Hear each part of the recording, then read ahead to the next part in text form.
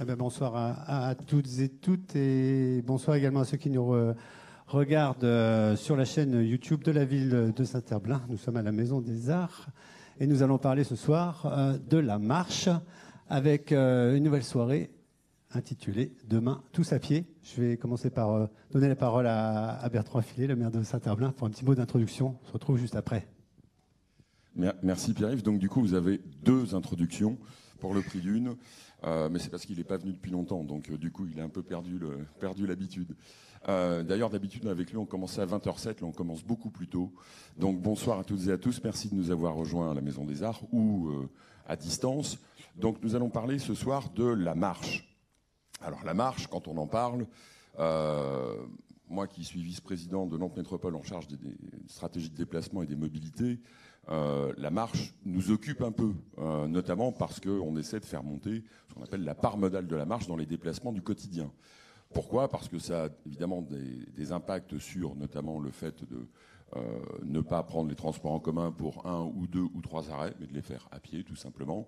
parce que ça permet aussi de limiter parfois l'usage de la voiture. Je pense que tous parmi vous ont déjà vu par exemple des gens emmener leurs enfants à l'école et revenir chez eux après alors qu'ils habitent à 800 mètres de l'école et que tout ceci pourrait être fait à pied et donner en plus de bonnes habitudes euh, aux enfants très jeunes. Euh, et puis la marche, elle a aussi plein de vertus euh, en termes bah, de, santé, tout simplement. Hein. L'OMS nous recommande de faire à peu près, je crois, 10 000 pas par jour. je ne sais pas si tout le monde y arrive ici dans la salle. Qui fait plus de 10 000 pas par jour? On va faire un petit test. Allez, vous ne les voyez pas, mais il y a une demi-douzaine de courageux qui lèvent la main. Bravo. Et puis, et puis la marche sous la forme de randonnée, c'est aussi, en plus de se maintenir en forme, alors ce qu'il y a de bien, c'est qu'on peut avoir les, tout, le, tout le spectre. Hein. On peut faire des petites balades entre amis, on peut faire des petites balades tout, tout seul, toute seule, on peut marcher d'un bon pas, on peut marcher au rythme de la promenade, et puis on peut faire euh, de la marche euh, quelques dizaines de minutes, quelques heures, ou avec des étapes et faire des randonnées, des treks ou des randonnées tout simplement à travers, euh, à travers les endroits euh, où on a envie de passer. Donc euh, ça c'est plutôt sympa aussi parce qu'en dehors de l'exercice physique, vous le savez tous si vous pratiquez la randonnée, c'est aussi de la convivialité, c'est de la discussion, c'est de l'échange et c'est de la création de, de liens sociaux. Donc en fait, ça fait quand même beaucoup de raisons pour marcher et pour devenir tous demain à pied ou tous piétons. Donc merci à nos intervenants qui vont euh, animer, pas animer, mais participer, argumenter dans cette soirée. Merci à Pierre-Yves pour son, pour euh, son animation et je vous souhaite une très belle soirée de place publique, euh, comme d'habitude. C'est ce qui s'appelle un peu spoiler toute mon introduction, ou la divulgation si on veut parler en français. en tout cas, je crois que Monsieur le maire a bien résumé les différents, différents sujets et thèmes qu'on allait pouvoir aborder ce soir, à commencer par la marche dans le sens du loisir, de la randonnée, on sait qu'il y a un, engouement euh, qui ne se dément pas depuis euh, plusieurs années sur, euh, sur la question de la randonnée. J'ai un chiffre, c'est 27 ou 30 millions de. On dit 27 alors On dit 27 millions de, Français qui pratiquent la randonnée. qui sont ces marcheurs, ces marcheuses Pourquoi est-ce qu'ils randonnent? Est-ce qu'il y en a plus, moins, plus qu'avant, je crois? C'est pas la peine de, de dire l'inverse. voilà, on va pouvoir parler de tout ça. Et puis, on va aussi parler beaucoup euh, Bertrand Affilé le rappelait, de la marche aussi, et comme euh, moyen de locomotion, euh, comme l'importance de la marche dans nos déplacements. Voilà, on a avec nous trois, et, j'oubliais aussi la marche sur d'autres aspects, par exemple la santé, mais on va pouvoir aussi parler de la marche dans le, peut-être le monde de l'entreprise, l'éducation. Voilà, c'est une activité très simple, c'est le premier moyen de locomotion de l'humanité bipède, bien sûr. Mais euh, le sujet est très vaste. Alors sans attendre, je vais présenter euh, nos trois invités qui connaissent le sujet. J'avais une bonne blague sur le bout des orteils. Séverine oui, je commence par vous. Bonsoir. Vous êtes directrice des relations extérieures et affaires internationales de la Fédération française de randonnée. Alors, la Fédération française de randonnée, euh, elle est présente partout en France, en Outre-mer, en métropole. J'ai noté que c'était 115 comités régionaux et départementaux. Euh, vous représentez 243 000, plus de 243 000 licenciés. Licenciés aujourd'hui, oui, tout à fait. Et 3500 clubs qui sont fédérés euh, à notre, à notre fédération, dont celui de Saint-Herblain, Air et Détente, dont une représentante est là ce soir. Voilà, donc vous nous parlerez peut-être un peu plus du rôle de la fédération, mais entre autres, on trouve le, bah, les réformes pour le développement de la pratique, coordonner le travail des baliseurs, la formation, la sauvegarde des sentiers, de l'environnement. Voilà, beaucoup de choses. On en reparlera tout à l'heure. Merci d'être avec nous. À votre droite, Dimitra Kamelopoulou. Vous êtes architecte euh, urbaniste. Bonsoir. Vous êtes maîtresse de conférence euh, à l'ENSA, l'École nationale de supérieure d'architecture euh, Paris-Malaquais. Et votre thèse a eu comme sujet la marche plurielle, aménagement, pratique, expérience au centre historique d'Athènes. Voilà, car vous venez de ce magnifique pays qu'est la Grèce.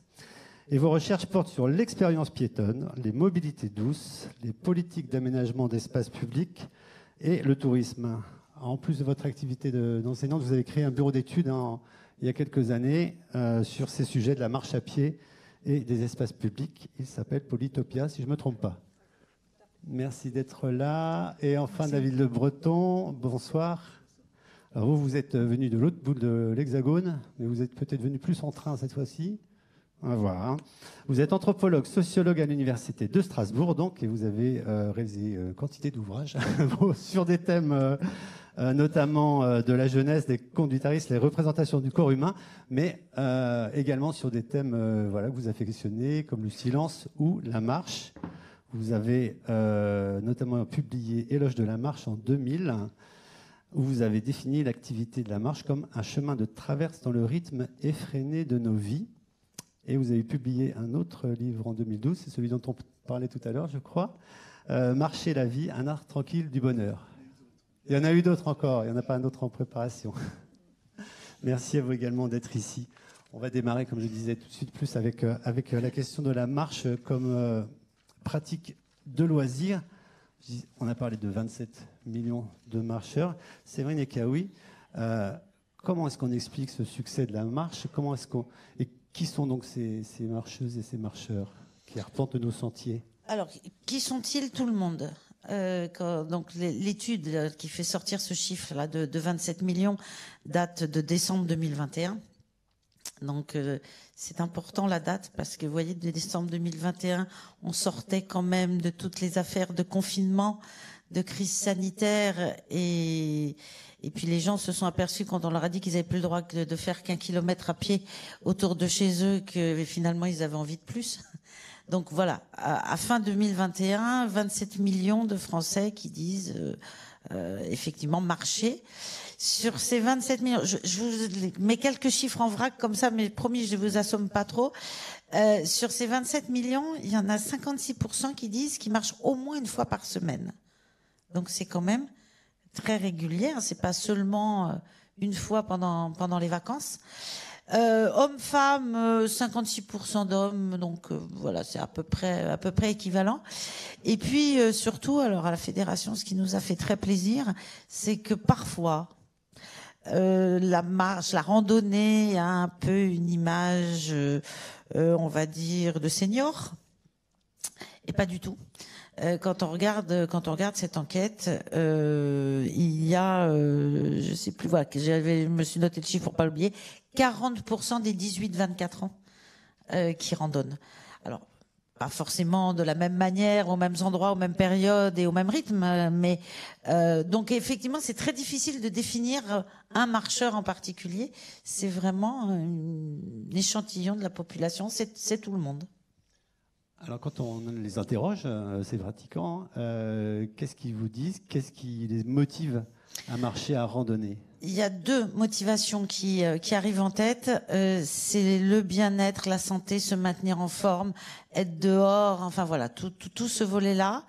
Et puis le second qui arrive, c'est la nature. C'est le besoin de se retrouver dans la nature, de se reconnecter avec la nature. donc c'est vraiment les deux, les deux items qui, qui ressortent majoritairement. Vous parliez des confinements, euh, du Covid, ça a vraiment donné un, sans un appel d'air en fait à la pratique? Oui, alors euh, ça, ça s'est mesuré, euh, ça s'est mesuré tout de suite. alors entre les deux confinements et puis l'été qui a suivi, faut, donc il y avait cette histoire bah, donc de confinement, hein, donc besoin d'air, là, au sens propre du terme, hein, besoin d'air, besoin de nature. Et puis souvenez-vous, hein, euh, c'était difficile de voyager, de prendre l'avion, de prendre le train. Enfin, euh, il y avait, il y avait tout, encore tout un tas de contraintes. Donc effectivement, les gens sont partis euh, sur les sites naturels, pas trop loin de chez eux. Et donc on a des territoires. Alors effectivement, alors après c'est très inégal euh, sur l'ensemble de la France, mais il y a des territoires qui se sont retrouvés effectivement asphyxiés euh, en montagne, sur les littoraux, euh, avec des pics de fréquentation extrêmement importants, des aménagements pas du tout conçus pour pour autant de monde. Hein. Alors les problèmes de parking, les problèmes de gestion des déchets sur ces sites, et puis des problèmes de comportement. Euh, je crois qu'on reparlera un peu d'éducation tout à l'heure. Euh, faut savoir se comporter, euh, faut savoir se comporter dans la nature. Euh, alors là aussi, hein, rester sur le sentier, pas cueillir. Enfin bon. Et, et là, tout d'un coup, il y a un peu une horde de gens qui sont arrivés dans des, espaces qui n'étaient pas conçus pour autant de monde et qui savaient pas forcément euh, bien bien les aborder.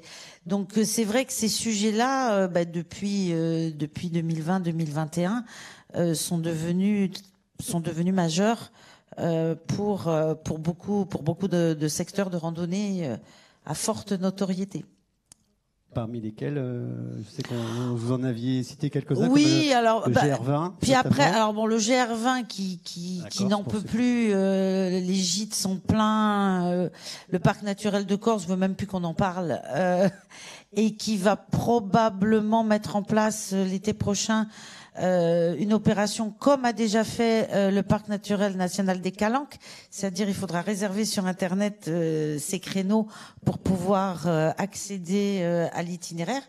on n'est pas encore dans un schéma où ça sera payant, mais au moins on, on réserve, on réserve ces créneaux. Donc les, les Calanques ont, ont, déjà mis ça en place.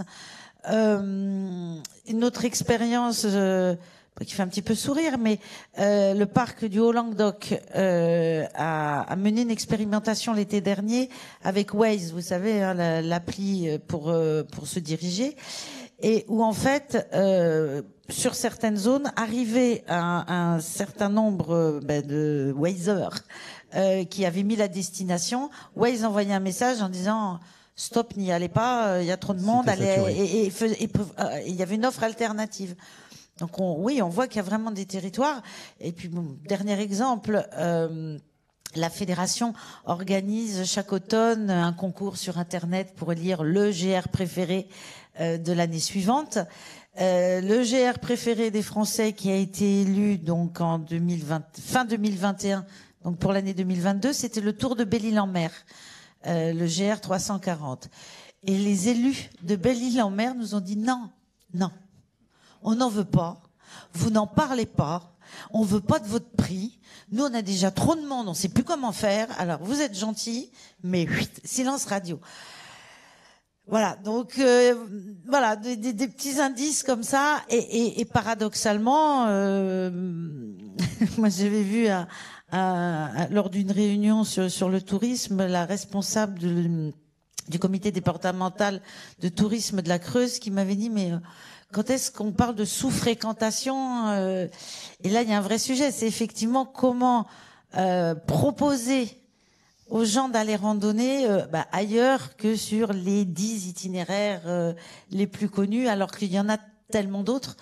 pour la fédération, aujourd'hui, c'est un véritable enjeu. Donc, si je vous suis, c'est ça, c'est une question d'équilibre entre les territoires. Et là, la fédération a, son rôle à jouer. Comment est-ce qu'elle peut le ben, euh, vous voyez, on, on publie ce genre de choses, euh, des topoguides. Hein. Alors celui-là, le Nantes Métropole, attendez le mois prochain, il y a une nouvelle édition qui sort. Euh, mais ça, c'est un, c'est un, voilà, qu'est-ce qu'on publie, qu'est-ce qu'on promeut euh, sur le site internet de la fédération, sur son appli mobile Marando, on peut quand même euh, gérer euh, les offres d'itinéraires que, que l'on peut faire.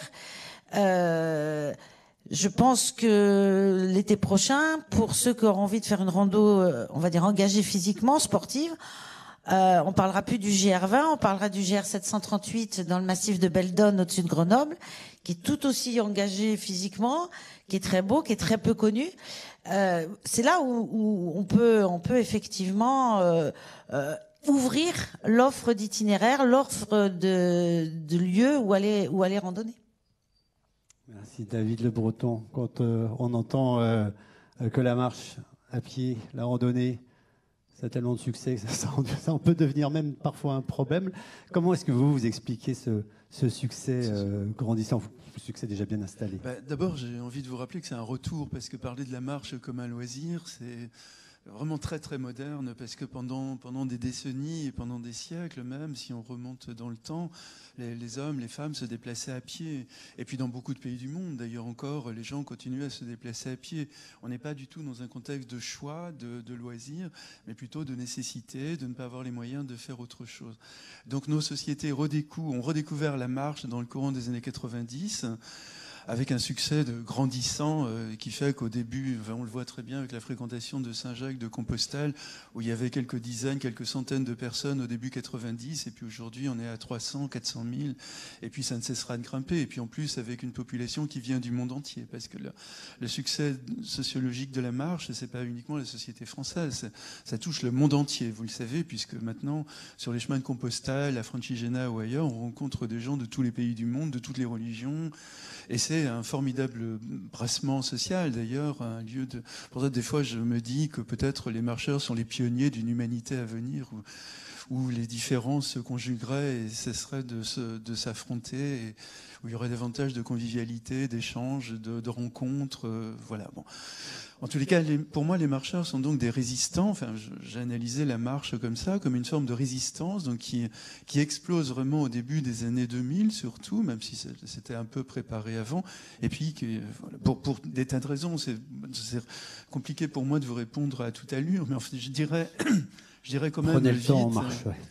oui, non, non, je, je sais, mais je dirais quand même, pour aller vite, que par exemple, euh, c'est un éloge de la lenteur euh, dans des sociétés où on est étouffé par la vitesse, la fulgurance, la productivité, le rendement, etc. Quand on marche, finalement, on prend son temps. On ne laisse plus le temps nous prendre, nous dévorer, et puis voilà, on est disponible, on, a, on part pour quelques heures ou, ou davantage. Mais pendant ce temps-là, on est vraiment dans la, royauté du temps. On a de compte à rendre absolument à personne. C'est sans doute l'un des premiers points euh, essentiels du succès de la marche. le retour à la lenteur, le retour au corps également, dans, ce que j'ai souvent appelé dans mes textes l'humanité assise. Nous sommes aujourd'hui à l'ère de l'humanité assise. La plupart des gens euh, passent leur temps assis derrière leur, euh, leur voiture, ils vont, enfin derrière leur volant, ils vont au boulot et s'installent devant leurs ordinateurs et n'en décollent pas. Et quand ils rentrent le soir, c'est pour regarder la télévision. Donc on comprend effectivement le discours des transhumanistes qui nous dit le corps est obsolète, dépassé, faut liquider le corps absolument parce que le corps est méprisable et nous fait perdre trop de temps. Et en effet, quand on est dans quand quand on sous-utilise son corps, on se sent mal dans sa peau, on éprouve une fatigue nerveuse, entre guillemets, qui n'a rien à voir avec la fatigue physique, qui est souvent une très très bonne fatigue. Quand on a bien marché pendant des heures, la fatigue qu'on éprouve n'est absolument pas du tout vécue comme une souffrance, comme peut l'être le fait d'être resté coincé euh, des heures euh, dans les embouteillages. Donc là aussi, la marche est une forme de résistance, c'est un retour au corps, un retour à l'effort au sens élémentaire euh, aussi du terme. On va marcher à son rythme, on peut marcher à 2-3 km heure ou, à 5-6 km heure si on est jeune, qu'on a envie de un peu d'être dans la performance. Mais on n'a personne sur le dos pour nous dire aller plus vite ou, ou aller moins, sauf quand on est en groupe. Ça, c'est l'une des contraintes des groupes. Mais la plus, quand on marche, en tous les cas, seul ou avec des amis ou en couple, on prend son temps, on a, on a on n'a personne sur le dos donc pour nous, pour nous donner des, des consignes. Euh, c'est un retour à la sensorialité du monde également, dans la mesure où finalement dans nos, dans nos villes, on peut dire qu'on vit avec une sensorialité qui est assez à minima, c'est-à-dire que la vue par exemple en ville à Saint-Herblain, à Nantes ou à Strasbourg, elle est plutôt centrée sur euh, la sécurité. C'est-à-dire faire gaffe de ne pas se faire renverser par une trottinette électrique ou un vélo ou une voiture ou, autre. Donc on, est, on a un regard un peu utilitaire, si vous voulez, une vie très utilitaire. Quand on marche dans la forêt ou ailleurs, euh, sur le sentier des douaniers ou, ailleurs, on, a, on est dans la contemplation, ce qui est un autre régime de la vue, évidemment. On est, on est dans la beauté du monde, on s'arrête d'ailleurs pour regarder. je ne dis pas que c'est pas il n'y a pas ça non plus dans les villes. Quand on découvre une ville pour la première fois, on a, aussi un grand bonheur à les, parcourir. Mais en même temps, avec toujours quand même, on est toujours un peu sur le qui-vive. Et alors que sur les sentiers, on n'est absolument pas sur le, qui-vive, évidemment. Donc la sensorialité du monde, c'est aussi, c'est pas seulement la vue d'ailleurs, c'est aussi le son, c'est le retour au silence euh, à l'encontre des bruits euh, de la ville. Le, le, ce sont les sons euh, de, des oiseaux, des torrents, du vent dans les arbres, etc. Donc là aussi, il y a une forme de reconquête. Euh, il y a les odeurs euh, en ce moment, particulièrement. Il y a énormément de fleurs, euh, d'arbres. On sent, on passe d'une nappe d'odeur à une autre. Quand la pluie est tombée, c'est encore d'autres, d'autres odeurs. Quand, c'est le soleil, c'en est encore d'autres. Alors que dans la ville, évidemment, on a quand même rarement l'occasion de sentir vraiment des choses agréables en tous les cas. Euh, le toucher qui est complètement occulté en ville, puis quand un enfant ramasse quelque chose sur la, sur la, rue, il se fait engueuler par euh, ses parents. Mais là, quand on, est, quand on marche, on a tous envie de ramasser des pierres, de tâter la, de tâter la feuille d'un arbre, de, de prendre une fleur dans sa main pour voir euh, quelle est sa texture et autres. On ramasse une pierre pour la rajouter à un cairn. On plonge sa main dans, l'eau euh, d'un ruisseau pendant l'été quand on est absolument en sueur. Moi, j'adore me baigner quand j'ai le bonheur de trouver, de trouver un lac ou une rivière ou autre. Je, trouve que c'est un, bonheur absolument inouï, après une bonne journée de marche, de, de, se laisser dans cette apesanteur de l'eau, dans la fraîcheur de l'eau ou de, ou de la mer euh, d'ailleurs. Et puis même le goût est mobilisé, puisque on arrive, euh, par exemple, dans les Vosges, mais aussi ailleurs, dans la, à la saison des myrtilles. Donc on va ramasser dans pas longtemps les myrtilles sauvages, les fraises sauvages.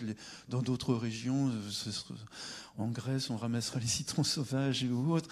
Voilà, chaque région, en tous les cas, nous, donne ses aubaines de, pour, que le marcheur. Et, là, on redevient d'ailleurs des cueilleurs, pas des chasseurs, heureusement, mais en tous les cas des cueilleurs euh, on retrouve une humanité très ancienne qui se déplaçait aussi à pied, etc.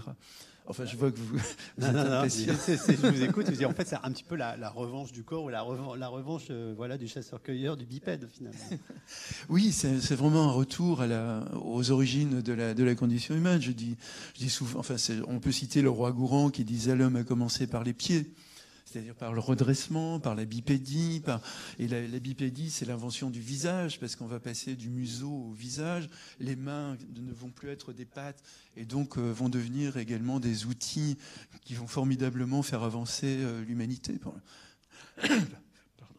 le meilleur et pour le pire, évidemment, dans, dans le bilan qu'on peut faire euh, aujourd'hui.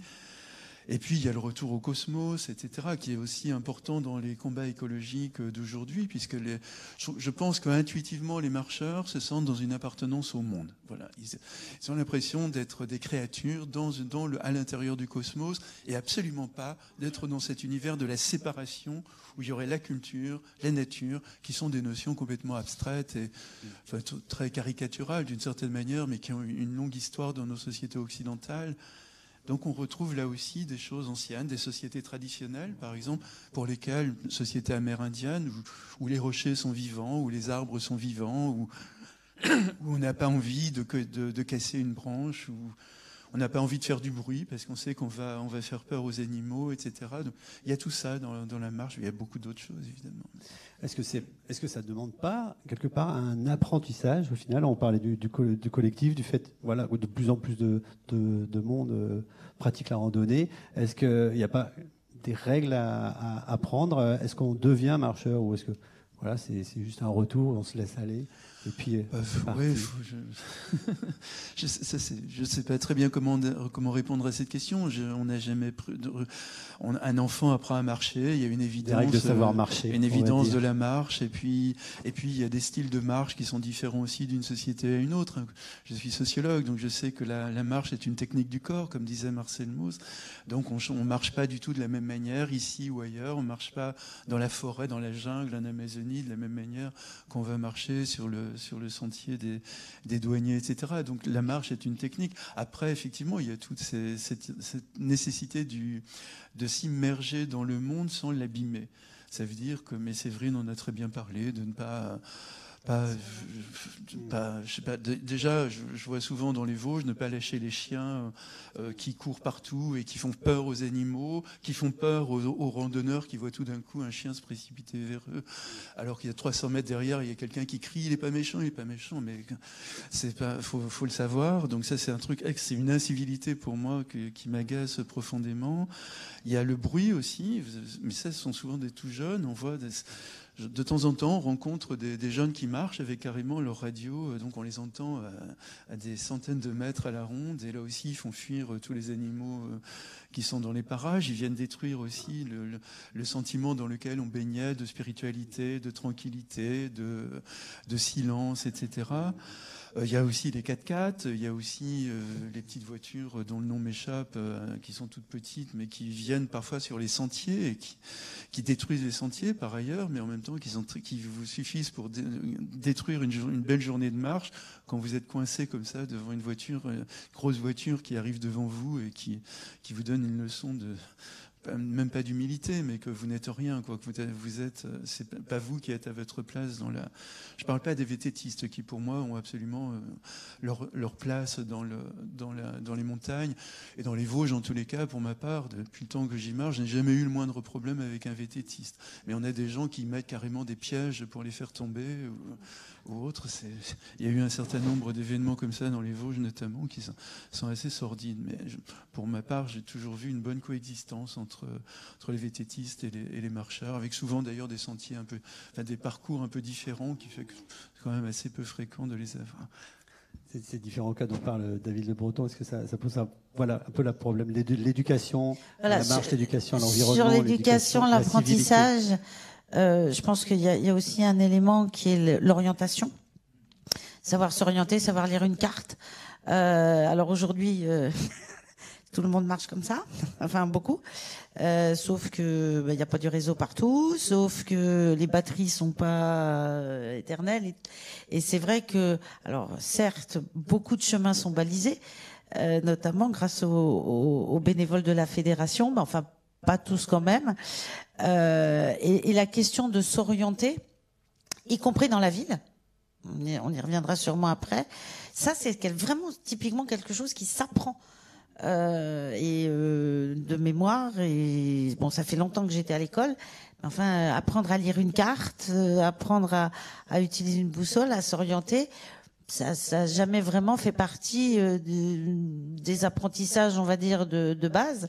Et alors aujourd'hui, on croit qu'on résout tout avec euh, nos smartphones qui ont des, des GPS intégrés. Et, c'est un peu un leurre. Donc, euh, outre le bon comportement et le respect de la nature et, et sa connaissance aussi, la, la, la compréhension de, de, de, là où on est, de ce qu'on voit, la lecture de paysages, enfin, euh, oui, il y, a plein de choses qui peuvent s'apprendre euh, autour de, de, la marche, en dehors du fait, évidemment, qu'en gros, à partir de 12-13 mois, on sait mettre un pied devant l'autre. Est-ce que c'est ça, justement, le, rôle, des, le rôle euh, des clubs? On parlait de, du nombre en grande partie en, grande partie ceux qui viennent ceux qui décident de venir randonner en club euh, alors c'est un peu les deux. C'est soit pour apprendre soit pour se laisser faire. C'est c'est ça aussi qui est bien dans un club. Hein. On, on, suit l'animateur, on est sûr de pas se perdre. En général, il nous raconte justement ce qu'on voit. Euh, donc euh, c'est tout un accompagnement qui, qui, est très agréable. Mais euh, c'est vrai que si on veut partir seul, en couple, entre, en, en famille, entre amis, c'est bien quand même d'avoir quelques notions sur, que, je, que je viens d'évoquer. Donc vous conseillez Oui, de pas de pas partir comme ça. Alors euh, bon, on, en, parlait tout à l'heure. Euh, le, ministère des Sports a, mis en place euh, il y a quelques années maintenant le programme Savoir nager pour apprendre à, nager à l'école primaire. Depuis un an ou deux, et là ça va monter en flèche, il y a un programme qui s'appelle le Savoir rouler, donc apprendre à toutes les classes d'âge à savoir faire du vélo très jeune. Nous, à la fédération, on se dit qu'un programme savoir marcher qui ferait partie euh, effectivement de, l'apprentissage euh, scolaire euh, pourrait être intéressant aussi.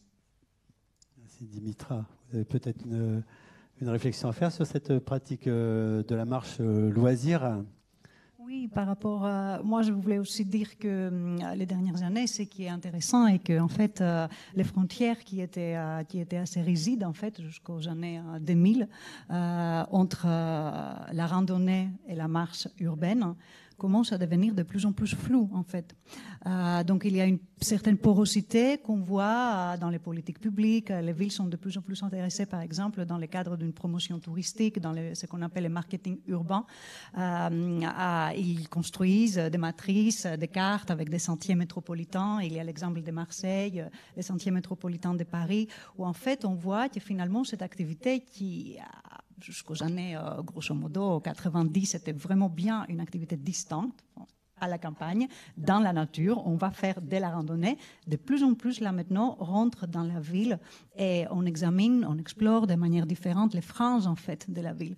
Et à l'inverse, euh, il y a des maires de plus en plus qui sont intéressés. Par exemple, euh, récemment, euh, j'ai travaillé dans le cadre d'un projet à, à Coignères, une, ville dans la, région parisienne, dans laquelle en fait il y a un GR qui passe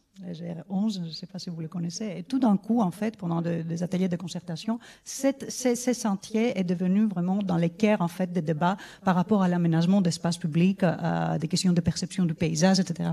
Et c'était quelque chose pour nous, euh, urbanistes, assez intéressant de voir que finalement, euh, cette, cette, histoire de la randonnée et de la marche des loisirs est, est rentrée et tout d'un coup est devenue, lors d'un débat, d'une discussion, le fil rouge vraiment euh, autour de, de discussions des espaces publics par exemple. Donc il y a, ces, allers-retours entre ces deux aspects, ces deux sphères qui étaient très différentes. Euh, jusqu'à il y, a, il y a 20 ans, et qui m'intéressent particulièrement euh, dans le cadre de la pratique, mais aussi dans l'enseignement.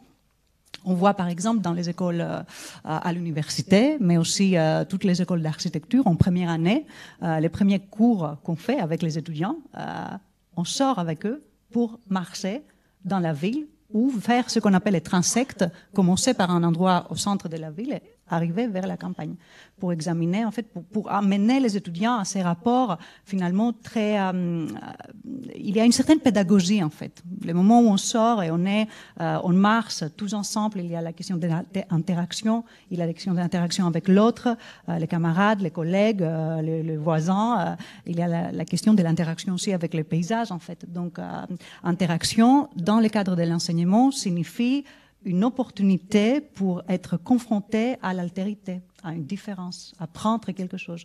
Donc euh, il y a ces questions-là qui nous intéressent beaucoup et je trouve que c'est assez, intéressant finalement que, euh, que ces marches entre la campagne et la ville sont au cœur de l'enseignement euh, supérieur, enfin en tout cas dans les métiers architecture, géographie, sociologie aussi.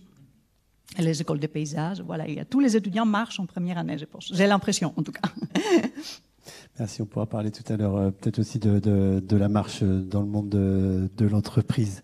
Euh, bien sûr, place publique, c'est euh, du débat, c'est des échanges. L'idée, c'est de vous faire participer. je vous propose peut-être de prendre d'ailleurs quelques questions. Florian a le micro en main.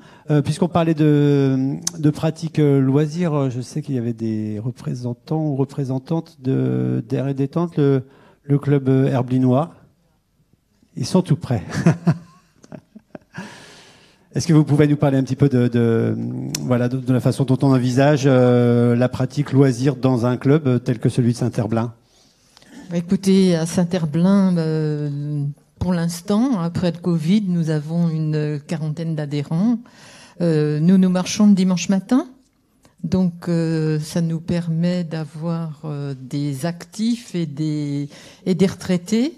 On essaye de, on ne va pas trop loin, hein. on, va, on donne dans les communes euh, autour de, autour de Saint-Herblain. On a des très très beaux sentiers dans, dans la région, hein. à Saint-Herblain, à Orvaux, à Sautron. C'est ce que je, je connais le plus, Couéron aussi. Bon, bah, écoutez, euh, on vient pour le plaisir euh, de la nature, euh, d'être ensemble aussi. On bavarde beaucoup. C'est ce lien social dont on parlait. Vous, avez, plus de, plus d'adhérents aujourd'hui, plus de, Alors euh, non, on a une bonne, euh, enfin une diminution assez importante euh, après le Covid. Et puis aussi, on a des gens qui commencent à être des fois un petit peu âgés et puis qui, bah, qui sont obligés de, de nous quitter. Donc, mais bon, là cette année, ça, ça repart un petit peu. Oui. Mhm. Voilà. je disais tout à l'heure que le Covid a hum, a mis les gens dehors, a, mis les gens sur les sentiers, mais pas forcément effectivement dans, dans les clubs. Alors, euh, la fédération de randonnée, il faut pas qu'on se plaigne par rapport à d'autres fédérations, notamment les sports en salle, mm. qui là ont eu une perte d'adhérents et de licenciés euh, phénoménale. Nous, à la fédération, ça tournait autour de 20% de moins, mais c'est vrai que le Covid a laissé cette trace aussi de l'appréhension du groupe. Euh, et de bah, la proximité. Et, euh, on nous a tellement dit euh, pendant presque deux ans de ne pas s'approcher des autres, de pas toucher les autres, de, que effectivement dans la pratique en club, il y a eu un il y, a, eu une, une, baisse, une méfiance sur le fait de se retrouver comme ça euh, de manière regroupée. Et l'année du, enfin 2020-2021 euh, à la fédération, on l'a vu de manière très nette. On avait le nombre des licenciés, donc dans les clubs, qui baissait. Je vous dis environ 20%.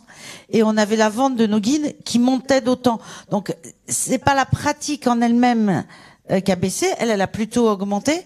Mais par contre, le, la notion de groupe, de se retrouver en groupe, elle, elle a, quand même pris une claque au moment de, la crise sanitaire.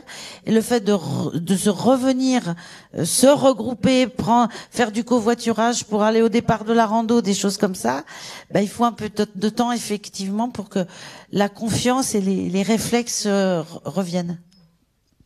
David Le Breton, vous avez constaté ça aussi, cette question voilà, de la pratique en club, la pratique dans, dans un collectif, et puis euh, cet essor de, de la marche euh, oui, je crois activité a, individuelle on a vu l'individualisation, on a vu l'individualisation de la marche, en effet, dans les lendemains du Covid ça a été absolument spectaculaire. Euh, et d'ailleurs, au-delà, euh, avec, les, avec la question des désagréments, il y en a un autre d'ailleurs qui me revient maintenant. C'est le fait qu'un bon nombre de marcheurs post-Covid n'avaient absolument pas les codes. Donc quand on les quand on leur euh, donnait un sourire, ils vous, ils vous regardaient d'un air effaré en disant mais qu'est-ce qu'il nous veut celui-là? C'était parfois très blessant et très très agaçant. Ça arrive encore de temps en temps, mais moins que dans les premiers moments où il y avait en effet des voitures absolument partout, ce qui atteste bien qu'en effet on était beaucoup moins dans une dans des pratiques de groupe qu'on a des pratiques d'individus.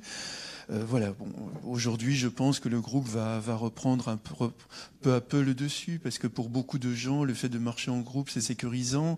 C'est en effet des motifs de rencontre également, ce qui est beaucoup moins le cas des marcheurs euh, solitaires ou en couple qui veulent plutôt euh, être baignés vraiment dans un, dans un autre monde. Mais je crois qu'énormément de gens ont besoin en effet de contact, d'échanges de sécurité, quelqu'un qui les, guide également, etc. Je, pense que ça, ça va, se retrouver dans les années à venir. Mais dans un premier temps, en effet, il y a eu un reflux individualiste, en quelque sorte. Pas, au sens moral du terme, mais au sens sociologique. Voilà, qui, a, provoqué la surfréquentation et, beaucoup de, désagréments avec les bouteilles en plastique qu'on trouvait sur les sentiers, les voitures garées n'importe où, des cris ou des, enfin beaucoup de bruit, etc. Ça, ça peu à peu. Est-ce qu'on a parmi le public euh, quelqu'un qui souhaiterait un peu témoigner de, sa pratique euh, de la randonnée loisir? Ou peut-être rebondir sur, euh, certains éléments qui ont été dit. S'il y a beaucoup de... Monsieur? Oui? Florian, le micro vient à vous. Oui, c'est juste pour témoigner d'une pratique à Saint-Herblain, enfin à partir de Saint-Herblain, avec un club de marche nordique. Alors c'est une marche un peu particulière que moi j'ai découvert il y a maintenant euh, presque dix ans. Vous pouvez nous, nous le rappeler très rapidement la marche nordique. oui, pour ceux qui connaissent bah, pas. Le principe, c'est une marche avec des bâtons, c'est-à-dire qu'on marche à quatre pattes en fait. on revient à la quadrupédie. Et, euh, et, on se sert beaucoup euh, de, de, la poussée sur le bâton pour. Euh, voilà, il y, a, y, a, plein de raisons de le faire. le club à, à Saint-Herblain, qui s'appelle l'ACH, a craint aussi la période de, du Covid, du confinement, mais on a réussi à maintenir quand même une activité en réduisant le nombre de, de participants pour voilà éviter la, la proximité, etc. Mais ça a fonctionné. Et finalement, à la reprise, on n'a pas eu tellement, on avait peur aussi euh, à la reprise de, euh, après, une fois que tout a été euh, un peu résolu. Et on est aujourd'hui à 300 adhérents. Et donc, ça a plutôt bien repris. Enfin, on est arrivé au même niveau qu'avant la crise, quoi. Et ce qui est intéressant, c'est que c'est un club qui permet énormément de pratiques différentes.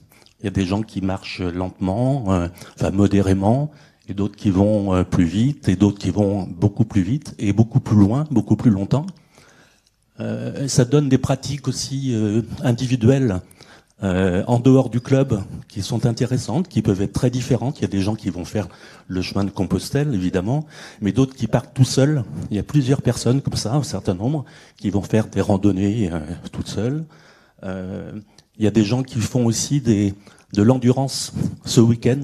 Il y a des gens qui vont faire 100 km à partir du club et qui partent à neuf pour euh, dans ce défi euh, important. Alors voilà, il y, a, y, a, vraiment des pratiques très différentes et c'est vrai que la métropole nous permet. Euh, enfin voilà, on a des chemins formidables ici et, et on en profite largement grande diversité. C'est aussi cette diversité qu'on va retrouver euh, au sein du club. C'est tous les âges, euh, hommes, femmes, ça se. Alors, je pense que la, la moyenne d'âge est quand même assez élevée. Je pense qu'on doit être entre 55 et, et 60 pour la moyenne d'âge, mais il y a quand même donc quelques jeunes qui arrivent. Et puis, euh, et puis des gens beaucoup plus âgés comme, comme moi. Et, oui, c'est quand même très varié, et puis des origines aussi, euh, des, pratiques, des gens qui n'ont pas l'habitude de marcher en montagne, et enfin qui découvrent la marche à travers ce, sport-là euh, particulier, mais et, d'autres qui ont une large pratique de la de la randonnée, euh, voire en montagne ou, ou, ailleurs, ou même il y a beaucoup de gens qui finalement qui couraient aussi et qui et qui marchent aujourd'hui parce que la, course est devenue plus compliquée.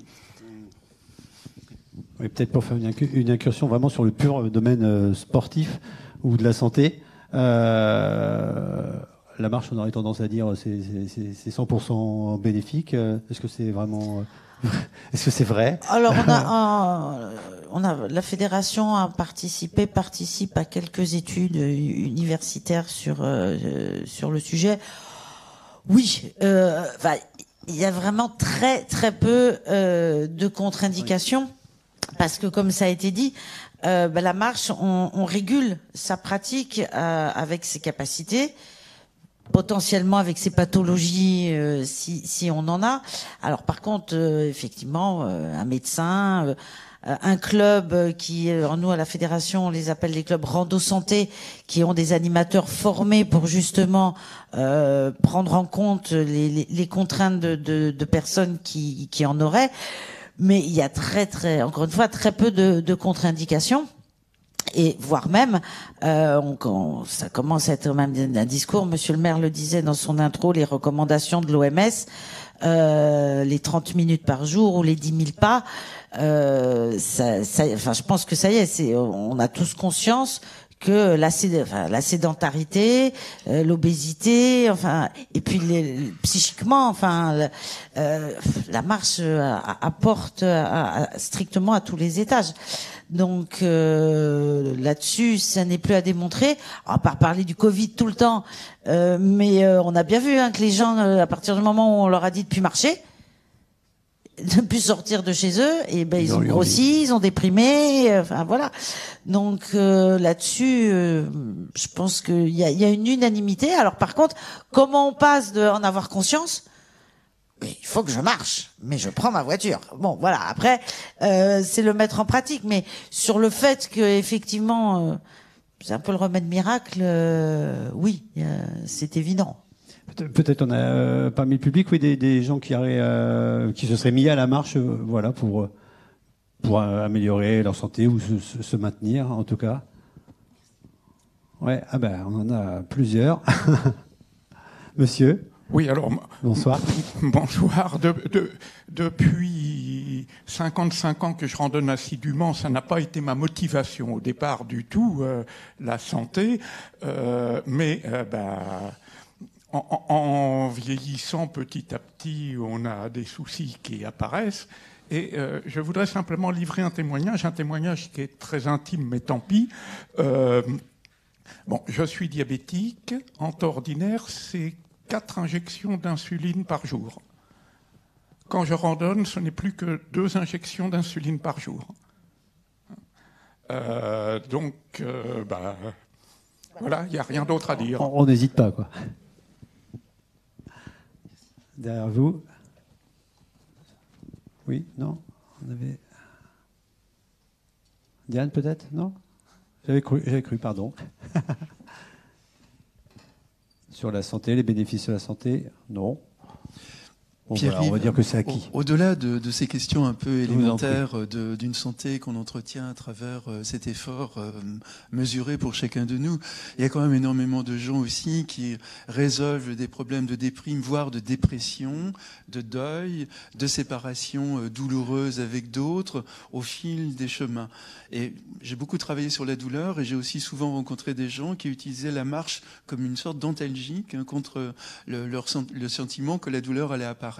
Un certain nombre de marcheurs me disaient quand je sens que ma crise douloureuse va arriver, je pars, je marche euh, et ça me fait du bien. Et une anecdote d'ailleurs d'une femme fibromyalgique, énormément de personnes, de femmes notamment, sont fibromyalgiques et dont la vie était complètement détruite par ces douleurs et qui prend soudain le, désir de partir de Belgique jusqu'à Compostelle, ce qui rallonge pas mal le parcours.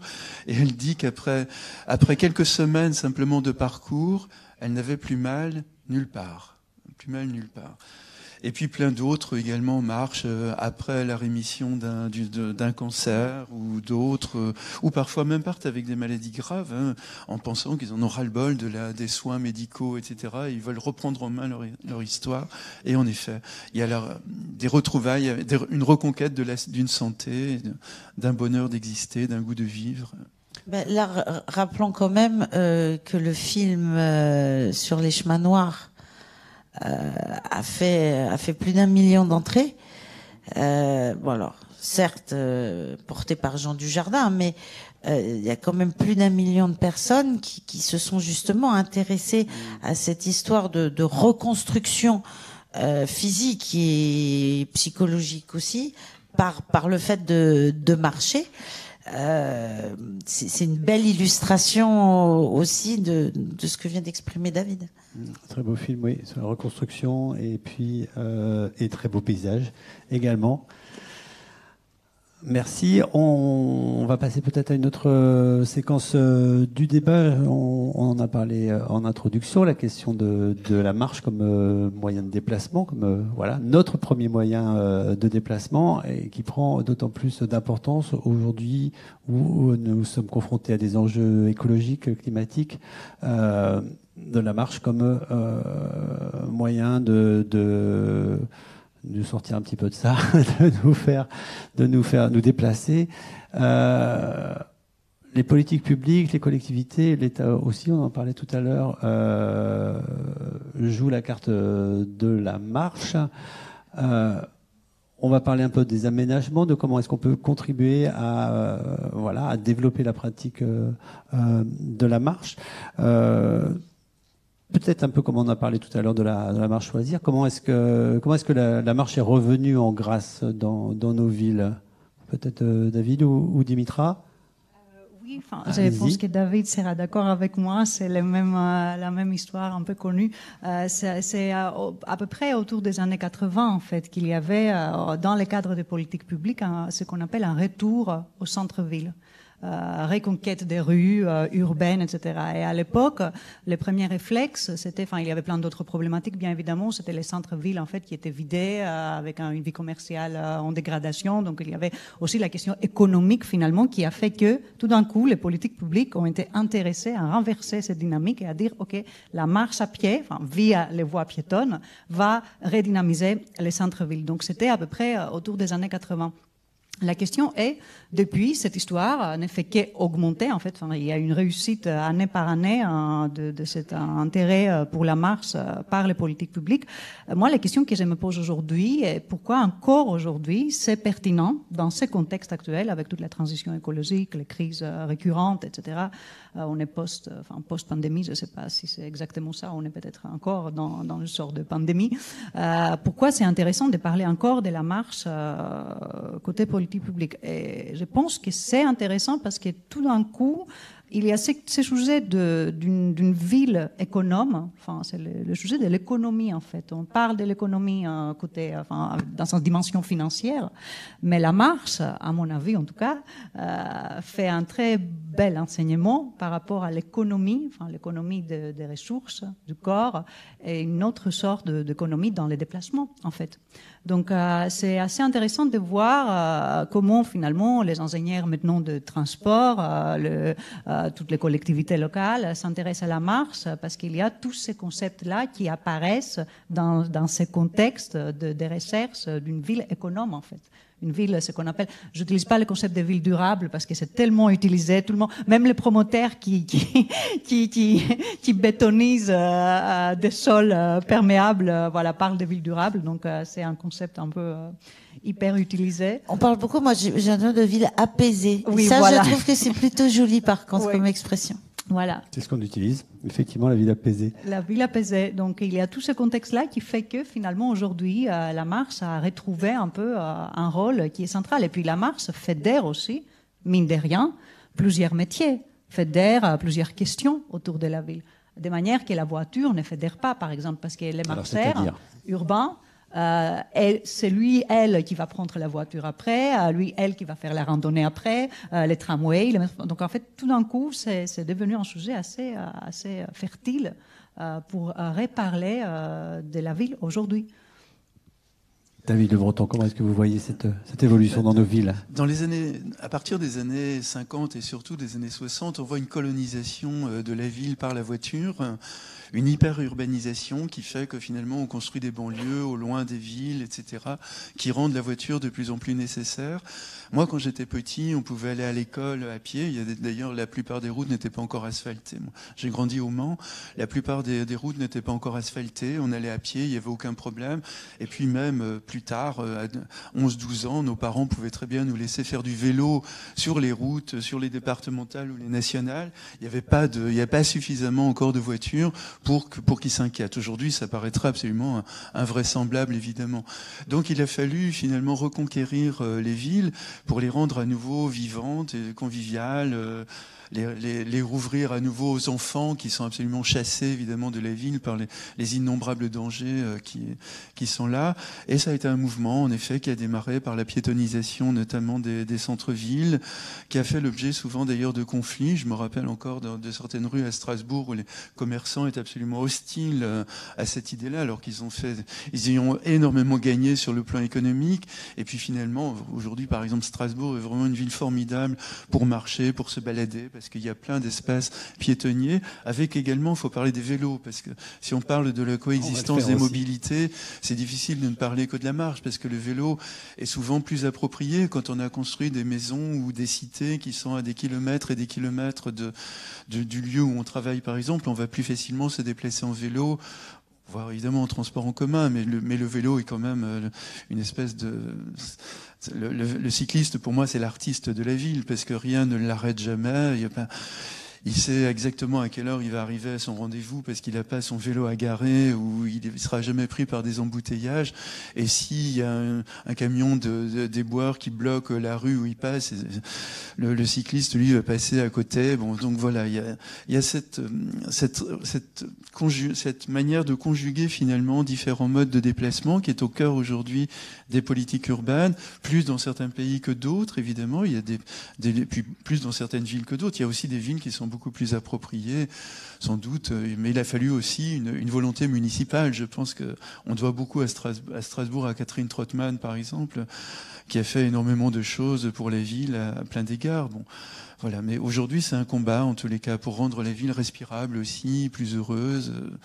Mais en même temps, il faudra conjuguer avec le fait que des, certains, certaines parties de la ville, certaines cités sont loin des, des, des, lieux de travail, des universités, des écoles, etc. Et donc, comment faire en sorte de concilier tout le monde? Parce qu'il ne s'agit pas non plus d'écarter les voitures. Ça, ce serait une aberration d'une certaine manière pour, beaucoup de gens qui vivent parfois même à la campagne et qui tous les jours, euh, enfin je regardais tout à l'heure en passant dans, le tram en arrivant de la gare, il y a vu d'innombrables embouteillages sur les, sur le, j'imagine les boulevards périphériques de de, Nantes, mais on, on, voit ça à Bordeaux, on voit ça absolument partout dans toutes les villes, on voit ça aussi à, Strasbourg ou ailleurs. Bon, donc ça, on aura du mal, à mon avis, euh, à contrecarrer ça, euh, ou alors ça va se faire dans, la, dans le temps, dans la transition, comme, mm. comme, disait, comme, tu, comme tu disais. Ça va nous amener, oui, à, parler de la construction de, de la ville euh, tout à l'heure. peut-être avant, David parlait de, de Strasbourg. Est-ce qu'on, est-ce qu'il y a des exemples de villes en France, mais peut-être aussi à l'étranger, qui sont particulièrement intéressantes sur leur rapproche de la marche? Juste euh, au niveau de la fédération, euh, quelques exemples. On a été très surpris, c'était Bordeaux la première. Bordeaux lance un appel à consultation pour renouveler sa régie de transport en commun. Et on est contacté à la fédération donc par Transdev, qui est un des leaders sur le marché, qui nous dit voilà on voudrait pouvoir présenter dans notre offre euh, à Bordeaux Métropole euh, un schéma cohérent justement entre transport en commun et itinéraire pédestre. Tiens, c'est intéressant. Et le deuxième exemple de ce type, un tout petit peu différent, c'est Chamonix. Alors Chamonix, vous imaginez autour de Chamonix le nombre de départs de randonnée euh, qui, peut y avoir.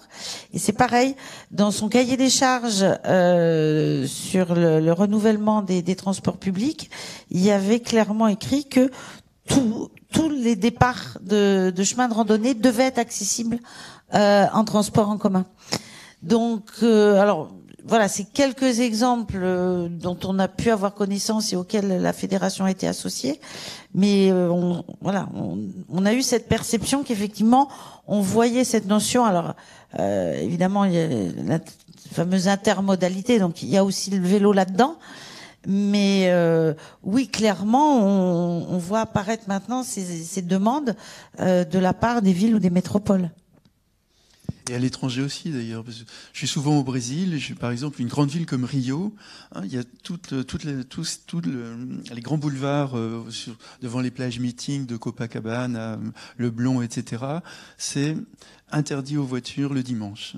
Donc on voit des milliers, des, dizaines de milliers de carioca qui courent, qui marchent, qui font du vélo, qui, qui se baladent, etc. C'est absolument spectaculaire. Je crois que Bogota fait la même, euh, fait la même expérience. Je crois qu'il y a forcément il y a plein d'autres villes dans le monde. Dimitra, oui, peut-être. Oui, non, mais j'ai réfléchi aussi au fait que parfois on oublie, euh, on oublie aussi les villes euh, historiques. Euh, euh, de l'Afrique, villes, enfin, la ville historique méditerranéenne. J'ai un exemple, en fait, de la Médina Fès. Je, transfère complètement ailleurs, mais la Médina Fès, euh, avec ses maintes problèmes, mais en fait, c'est la zone, la plus, la plus grande zone piétonne au monde. Je pense. Il faut vérifier ça. Euh, et on oublie aussi euh, ces, petites intelligences en fait qui existaient dans des villes, qui ont été produites par les besoins et pas par les hauts, par des politiques publiques ou par d'autres dynamiques qui existent aujourd'hui. C'était l'intelligence et les besoins en fait de l'habitat au quotidien avec toute cette contrainte de partager un espace avec cette multiple mobilité au quotidien qui ont fait que finalement la marche euh, était euh, au cœur euh, des mobilités et des micro-mobilités. Je me réfère à tous ces commerçants, par exemple, tout l'approvisionnement des produits dans tous les, enfin, les souks de Medina c'est fait avec des petites bicyclettes ou des petits cargos, etc. Donc, en fait, c'est des choses qui, aujourd'hui, il y a des villes, par exemple les centres d'Athènes, ils piétonnisent une rue et ils disent, voilà, c'est une rue avec plein de commerces d'épices. Comment chaque commerce aura euh, euh, ses produits chaque matin quand il n'y a pas, en fait, les, gros camions qui pourra passer. Ah oui, on va instaurer un petit, un petit bus qui va amener, enfin, pour, pour les touristes, et puis euh, d'autres bicyclettes qui vont amener le produit. Donc, en fait, il y a, il y a cet aller-retour dans le temps historique que je trouve très intéressant. Il y a certaines choses qu'on a oubliées, qui existent déjà dans certaines villes, et qui aujourd'hui euh, on essaye, enfin, on fait, euh, on dit oui, c'est l'innovation, mais peut-être c'est pas tant une innovation. Euh, donc voilà, il y a plein d'exemples, mais et surtout, ce qui est très intéressant, et aussi, tu l'as dit avant, l'effet, enfin, les liens avec la culture et ce qu'on appelle, en géographie, les lieux. Les lieux, c'est un espace vécu. Euh, on ne marche pas de la même manière dans d'autres environnements, dans d'autres climats, dans d'autres cultures. Pourquoi? En fait, la même personne marche différemment. Euh, et c'est très intéressant. Comment c'est possible ça, bah, Comment on marche différemment? C'est très possible, c'est très possible. D'Afrique en Asie, en Europe. Euh, non, parce que c'est très possible, parce que finalement, c'est l'environnement qui façonne d'une manière notre rythme, euh, et notre, euh, notre allure, enfin notre rythme de marcher. C'est-à-dire, au-delà, une fois qu'on dépasse la question du, du, du, de la marche comme un déplacement, et c'était ça, en fait, la question centrale pendant toutes les années euh, dans l'ingénierie et les politiques publiques. Enfin, c'était les piétons. C'était même pas les marcheurs urbains. Jusqu'aux années 2000, on parlait des piétons urbains. Donc, c'était un piéton. Enfin, je caricature un peu. C'était genre, voilà, tout le monde est pareil. Donc, les piétons a un tel besoin. Euh, ça, c'est maintenant, les dernières années, c'est fini. De plus en plus, en fait, les, heureusement, les villes consultent euh, les sociologues, les anthropologues. Et en fait, on est plutôt dans, dans, dans cette volonté d'aborder la pluralité de la marche.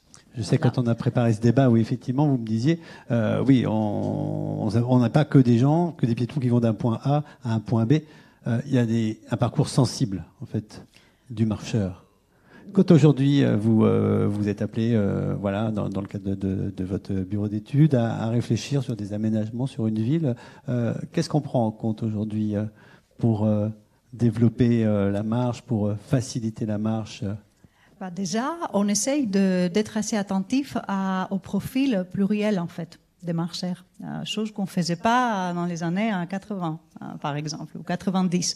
Aujourd'hui, euh, dans le cadre des concertations, en tout cas, on essaye de faire, dans la mesure du possible, plusieurs groupes pour cibler les questions, les attentes et les besoins de chaque groupe.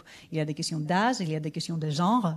Les femmes, on disait tout à l'heure, en fait, il y a, ça dépend aussi où tu mènes un projet urbain. Euh, si il y a besoin, si c'est un quartier qui, pour X raisons provoque un peu l'insécurité à un groupe euh, de citoyens, bah là, il y a un, intérêt de questionner euh, ce groupe en particulier. Donc, en fait, je dirais que voilà, il y a cette pluralité de profils qui nous intéresse aujourd'hui dans le cadre de, concertation énormément en fait. On ne on, peut plus faire la ville en, prenant le couteau et en disant oui en fait euh, là il y aura une voie piétonne parce que euh, il y aura une voie piétonne. Enfin c'est c'est plus possible euh, parce que même la voie piétonne c'est pas sûr que ça va ça va ça va enfin c'est pas ça pour le dire autrement c'est pas le ah, c'est pas le fait d'intervenir dans une infrastructure lourde qui garantit la réussite euh, de la marche. Parce qu'un marcheur peut-être marche avec beaucoup de bonheur et beaucoup de plaisir quand il y a d'autres choses qui ne sont pas facilement mesurables et quantifiables. Et c'est là où la discussion devient plus complexe. Est-ce que finalement, on n'arrive pas en fait à, une vie du compromis, à, aménager, à, tenter de satisfaire tout le monde? C'est ça que vous tentez de faire en fait en tant qu'urbaniste aujourd'hui? Satisfaire tout le monde, non. Le marcheur, le cycliste, l'automobiliste. Satisfaire tout le monde, non. Et par contre, euh, différents types de marcheurs. Essayer, je dirais, essayer à travers ces, ces, ateliers de concertation qui sont qui sont euh, qui sont très importants, je pense, à mon avis, dans chaque projet urbain. Essayer d'instruire une culture autour de la marche.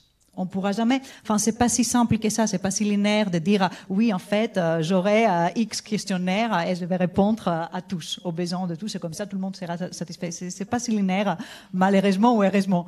Euh, ce qui, ce qui est intéressant, par contre, et à travers le débat, des débats comme celui qu'on fait aujourd'hui, à, à, travers beaucoup de discussions, de fédérer les gens autour des questions de leur quartier, de leur ville, et construire ensemble une culture de la marche. Une culture de la marche, c'est aussi le cycliste qui aura une culture de la marche, parce que le cycliste va marcher pour prendre son vélo et après euh, il va déposer son vélo à la gare et il va marcher à 100 mètres euh, euh, dans la nuit.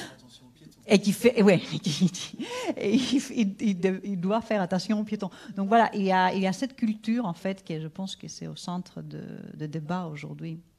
C'est un peu la, question du partage de la rue dont on a parlé euh, tout à l'heure entre les différents, euh, différentes mobilités. Hein. Qui m'en parlait C'était vous, David, je crois. D'où l'émergence d'ailleurs de, la notion de marchabilité aujourd'hui, qui est un mot pas très beau, mais en tous les cas qui traduit une nouvelle aspiration que les villes deviennent marchables entre guillemets. Alors justement, on va pouvoir parler des villes marchables. On, en a, on en a pas mal discuté tout à l'heure, et notamment d'un baromètre. C'est ça, la fédération avec euh, d'autres deux autres associations, alors deux piétons ou qui se revendiquent comme tels, euh, que sont Rue de l'Avenir et, et 60 millions de piétons. Euh, en 2000, donc euh, entre fin 2020 et, début 2021, donc on, on, a mis en place un, ce qu'on a appelé le baromètre des villes marchables.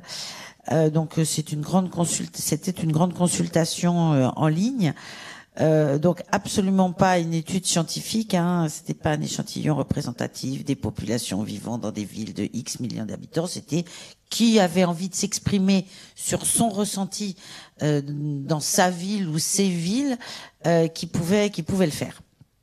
Donc euh, il y a eu euh, plus, plus, de 68 000 questionnaires remplis, exploités.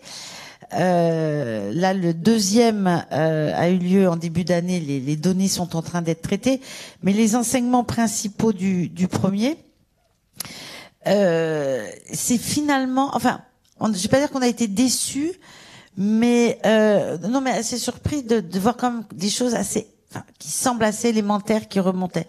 Le premier sujet qui revient, c'est les trottoirs, euh, où les gens disent, enfin, disaient, mais euh, le trottoir aux piétons, quoi. Mais quand on a dit ça, euh, ben c'est et les terrasses des cafés, on fait quoi? Parce que c'est sympa aussi de s'arrêter euh, boire un café. Donc, mais vraiment la notion du trottoir, de, du piéton qui est devant un trottoir avec des obstacles qu'il est difficile euh, d'emprunter, c'est vraiment euh, revenu de manière euh, très très importante. Le, le, deuxième, le deuxième, la deuxième attente euh, bah, concerne tout ce qui tourne autour bah, de la voiture, avec deux demandes principalement. Alors, c'est qu'elle se gare pas n'importe où et qu'elle réduise la vitesse. Donc euh, ça, ça, ça apparaissait assez clairement. Et le troisième, et là aussi on retrouve les questions d'aménagement, c'est la notion de confort, c'est-à-dire euh, mettez des bancs euh, qu'on puisse s'asseoir quand on est fatigué ou qu'il fait trop chaud, des fontaines. qu'on puisse qu'on puisse facilement se désaltérer, végétaliser pour avoir des des endroits où il y a de l'ombre. Donc euh, les demandes sont sont pas comment dire euh, c'est ce que je disais pas très pas très surprenantes mmh. et on est bien au cœur euh, des politiques d'aménagement des villes autour de, ces sujets-là. Est-ce que ça suscite déjà quelques questions les aménagements en ville au profit de la marche? Oui, peut-être, monsieur? Le micro vous arrive. Je voudrais vous, raconter Bonsoir. une anecdote euh, pour parler des difficultés qu'il y a de circuler sur les trottoirs, et notamment avec les poussettes, avec les fauteuils roulants, tout ça. Il y a un lycée de Nantes où il y a une- un bac pro euh, d'aide à la personne qui vient régulièrement dans notre rue avec des fauteuils roulants pour expliquer aux étudiants comment faire pour aller jusqu'à l'arrêt de bus quand il y a des voitures garées tout du long. Voilà, on est obligé d'apprendre aux personnes à se débrouiller parce que les gens sont garés sur les trottoirs. Voilà, et d'ailleurs, euh, on a fait une demande auprès de la mairie de façon à ce que la rue soit aménagée pour éviter ça. Et Sur la cohabit- co- cohabitation entre voitures et piétons. bah, Vaste débat. voilà, exactement. Mais tout le monde est en danger. Il y a une maison de retraite qui va à l'arrêt de bus. Il y a 300 mètres à pied et il faut les faire sur la route parce qu'on ne veut pas les faire sur le trottoir. Un autre, euh, un autre témoignage, un autre euh, éclairage peut-être? Dans le public, oui, tout en haut. Ah, Florian, il va falloir se lever et marcher justement. de- Combien de pas là? On va Ouais, compter les pas. Il est décidé là, il est décidé. Tout au bout. Monsieur, Oui, bonsoir. Euh, juste euh, par rapport à cette notion de conflictualité qu'il peut y avoir entre les différents modes de transport. euh, pour ma part, je connaissais pas Nantes avant de venir et j'avais entendu Nantes comme un exemple en fait par rapport à cette notion piétonne et le- la grande référence que moi j'avais venant de Paris, c'était le cours des 50 otages, euh, l'ancien, qui était euh, sans voie cyclable, sans voie bus, sans voie en fait qui- et qui avait pas de passage piéton. Et le parti pris, c'était hein, de y dire les piétons. Doivent euh, traverser n'importe où, n'importe comment, de manière en fait à ce que ça fasse peur. Et donc ça crée évidemment du danger, mais que ça fasse ralentir notamment les automobilistes qui eux sont perdus. Et c'est vrai que là, le dernier aménagement qu'on voit, c'est que notamment la grande voie cyclable, bah, pour les piétons de traverser, et encore plus quand on est en groupe, c'est des, gens qui sont sur leur euh, finalement leur voie à eux, on va dire, cyclable. Et en plus derrière, il y a celle du bus, le tout avec des, niveaux différents, alors qu'avant c'était aplati. Et ça devient très complexe, en fait, pour un marcheur de savoir où faut se faufiler. Donc ça, c'était une première remarque. Et j'en avais deux autres, pardon. Là, je voulais revenir sur la notion de fatigabilité aussi, et notamment post-Covid. Pour ma part, je marche souvent, très souvent, quotidiennement, et notamment avec des enfants et des groupes d'enfants. Et, et on a vu une nette différence juste après Covid d'une génération qui n'était pas sortie. Euh, notamment en 2022, les CP, CE1 globalement de 2022 sont des enfants qui en 2020-2021, en, fin de maternelle, n'avaient que très peu marché. Et ça, ça s'est ressenti énormément. C'est-à-dire que sur euh, des journées où on pouvait faire euh, quand même un itinéraire assez conséquent dans Nantes avec des CP habituellement où on, va de l'île de Nantes de l'éléphant jusqu'à 30 mous à pied en passant par le navibus, etc. Là, de relonger, ne serait-ce que le quai de la Fosse, ils étaient fatigués et on, a dû, enfin l'année dernière notamment, euh, s'adapter à notamment, enfin ça a été flagrant. Alors c'est pas mesurable, quantifiable, mais là ça a été vraiment clairement flagrant là-dessus. Et la dernière chose, c'était tout à l'heure, il y avait une réflexion sur le fait de marcher peut-être pour rien entre guillemets. Je pense qu'il y a une différence avec euh, flâner et euh, enfin dans l'aménagement des villes notamment et, et, et dans les derniers aménagements, il y a cette idée quand même de circuler plus que flâner. Donc des choses qui sont plutôt rectilignes, même jusque dans les ménagements de parcs, qui sont pourtant pas des zones où on imagine qu'on y va seulement pour euh, traverser ou circuler. Et donc il y a moins de courbes, moins de, enfin des choses un peu plus directes. Et à l'inverse, quand il y a des choses un peu plus sinueuses, on va dire, et un peu plus complexes, de l'ordre de la flânerie, euh, on se retrouve avec des lignes de désir ou des choses qui sont euh, traversées un peu dans tous les sens par des par des groupes qui veulent aller au plus vite parce que pour rejoindre l'arrêt de bus, l'aménagement finalement est moins pratique. Donc on coupe l'herbe et on voit bien tous ces petits chemins, ces débuts de sente. Et ça pose la question de pourquoi on marche effectivement des différents marcheurs. Et du coup, la réflexion de tout à l'heure me faisait penser à la notion de marcher pour rien. Pour ma part, souvent, des fois, euh, c'est en marchant que j'ai des idées. Donc, du coup, je, je marche, j'ai pas vraiment de but. Et je me rends compte qu'en fait, on le fait assez souvent, même quand on est au téléphone, on se met à marcher. Enfin, il n'y a pas du tout du- d'utilité. Je sais pas pourquoi, si ça nous fait mieux réfléchir. Mais ça me faisait penser à ça tout à l'heure quand on disait qu'on marchait, que ça pouvait potentiellement oxygéner, entre guillemets, le cerveau. Et cette idée que la salle descend pas ou je ne sais quoi, enfin, qu'on marche presque pour rien, mais qu'on en a besoin presque, euh, le rapport au corps, quoi. Voilà. Il, y a, quelque temps, effectivement, on parlait des, des réunions en marchant. hein. Euh, je rebondis sur votre. votre Je vais oui, oh, excusez-moi, rajouter et madame, rebondir je un petit peu euh, dessus. C'est finalement une problématique, d'après moi, d'urbain, purement d'urbain. Euh, on est piéton pour une- un intérêt pratique de se déplacer dans la ville plus simplement, et on fait de la rando pour reprendre contact avec la nature qu'on n'a pas euh, auprès de nous. Et finalement, est-ce qu'il n'y a pas moyen d'associer les deux et pas effectivement euh, on parlait d'aménagement naturel, de retrouver de la nature sur le cheminement, etc. Est-ce qu'il faut être piéton pour l'utilitaire, partir de la ville pour retrouver la nature? Est-ce qu'on ne peut pas avoir de l'utilitaire dans la nature et dans la ville? Qui veut répondre? Bah, c'est Jeanne.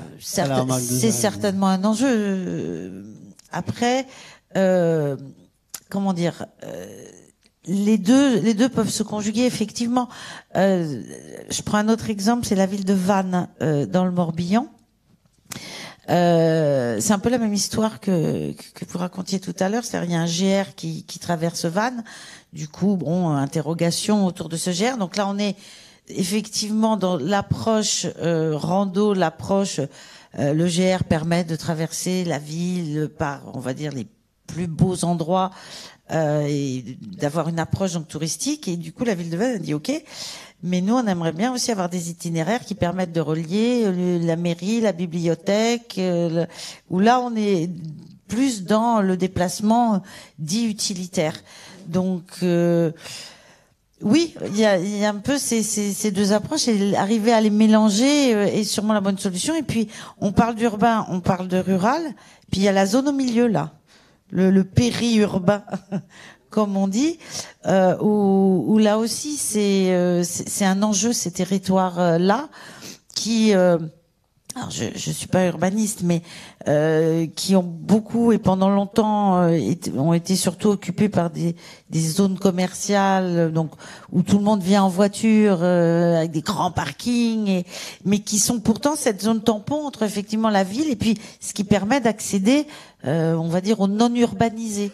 Et, et là, euh, typiquement dans ce que vous dites, quoi, comment on aménage, qu'est-ce qu'on fait dans dans ces zones où euh, on, est un peu dans l'utilitaire, pas vraiment dans le touristique parce que c'est moche. Euh, et, pourtant, ce sont des zones importantes entre la, ville et le monde rural.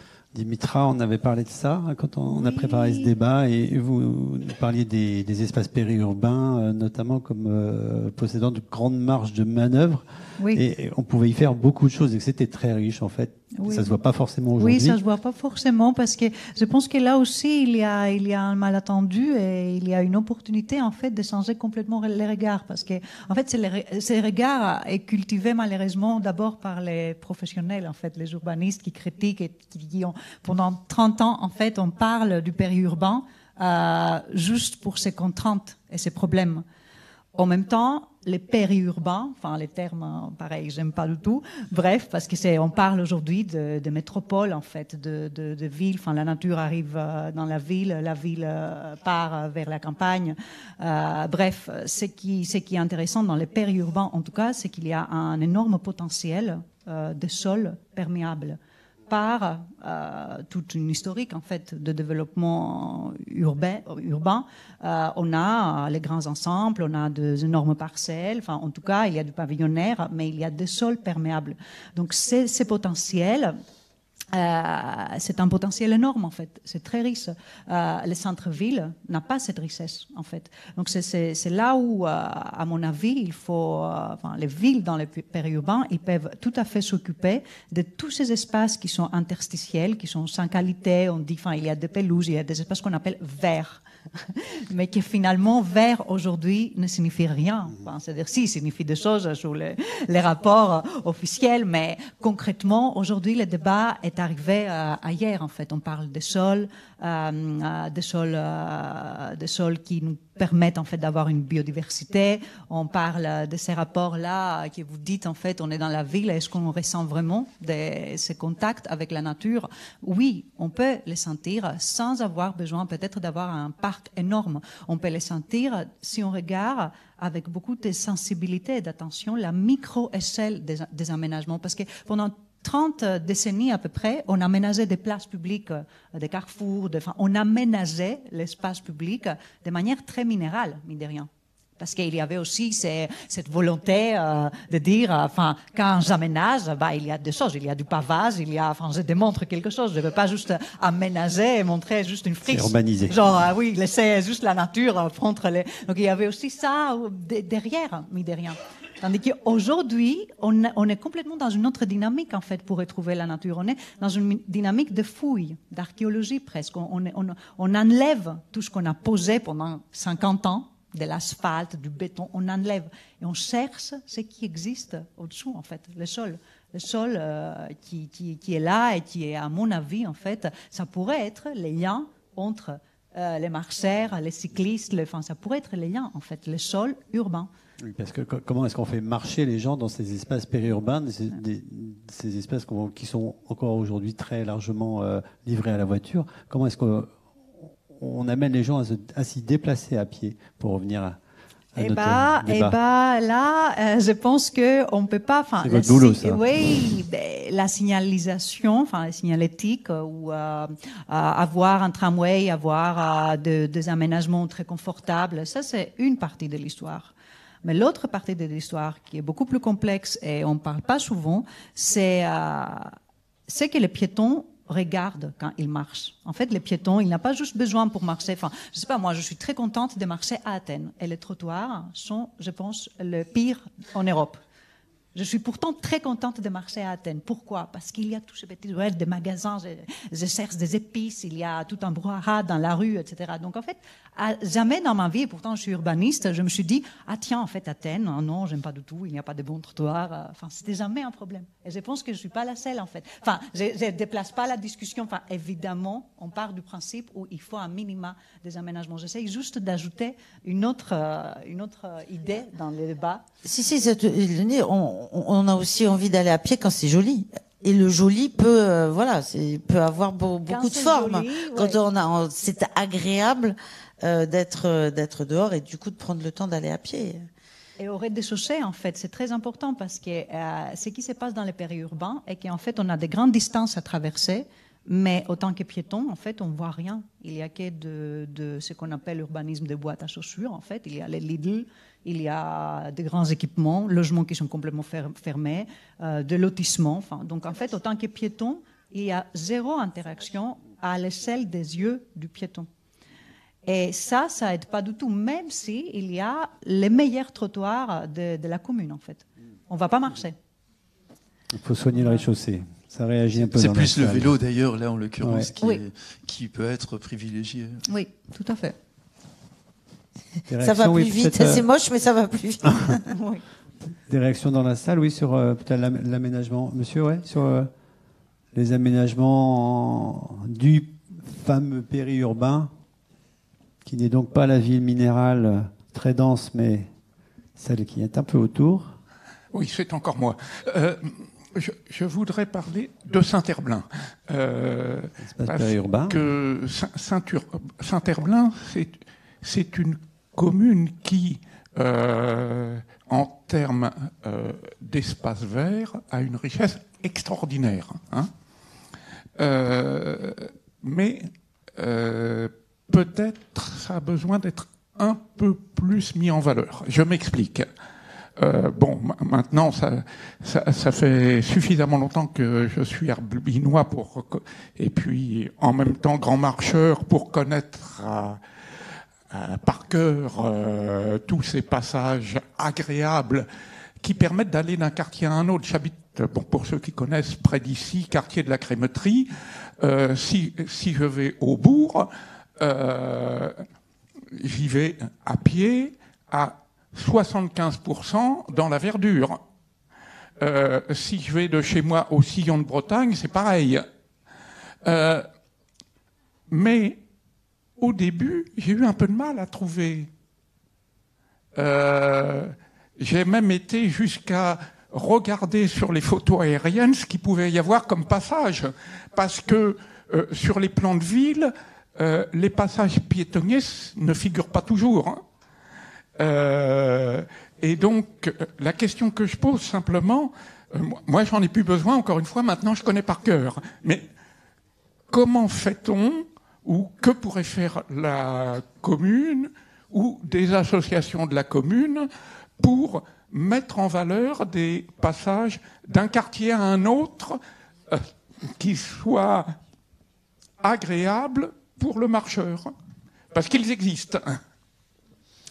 Alors peut-être que vous pourrez en discuter tout à l'heure avec euh, Monsieur le maire de Saint-Herblain, parce qu'on va prendre peut-être cette, question d'une manière euh, plus, plus globale, parce que ce qu'on rencontre à, à Saint-Herblain, on, on le trouve euh, bien sûr dans, dans, beaucoup d'autres euh, communes, cette question de, de, de, on va dire, euh, bah, de communication finalement, de, de signalétique, d'aménagement pour, pour faciliter la marche. Ça pose plus largement le problème de l'intervention publique.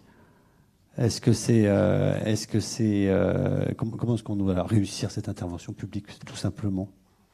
Qui veut parler de ça La question est peut-être un peu trop vaste du coup. Je, Je, dis sais pas. juste par rapport, parce que je trouve très intéressant ce que monsieur euh, disait tout à l'heure, et je pense qu'il y a toute une, une innovation à faire à, aux documents euh, officiels d'urbanisme, en fait. C'est-à-dire que pendant tout le XXe siècle, bon, non, pas tout le XXe siècle, j'exagère, après-guerre, commençons, euh, les, les professionnels, en fait, qui façonnent la ville, qui dessinent la ville, ont un regard déjà par les hauts.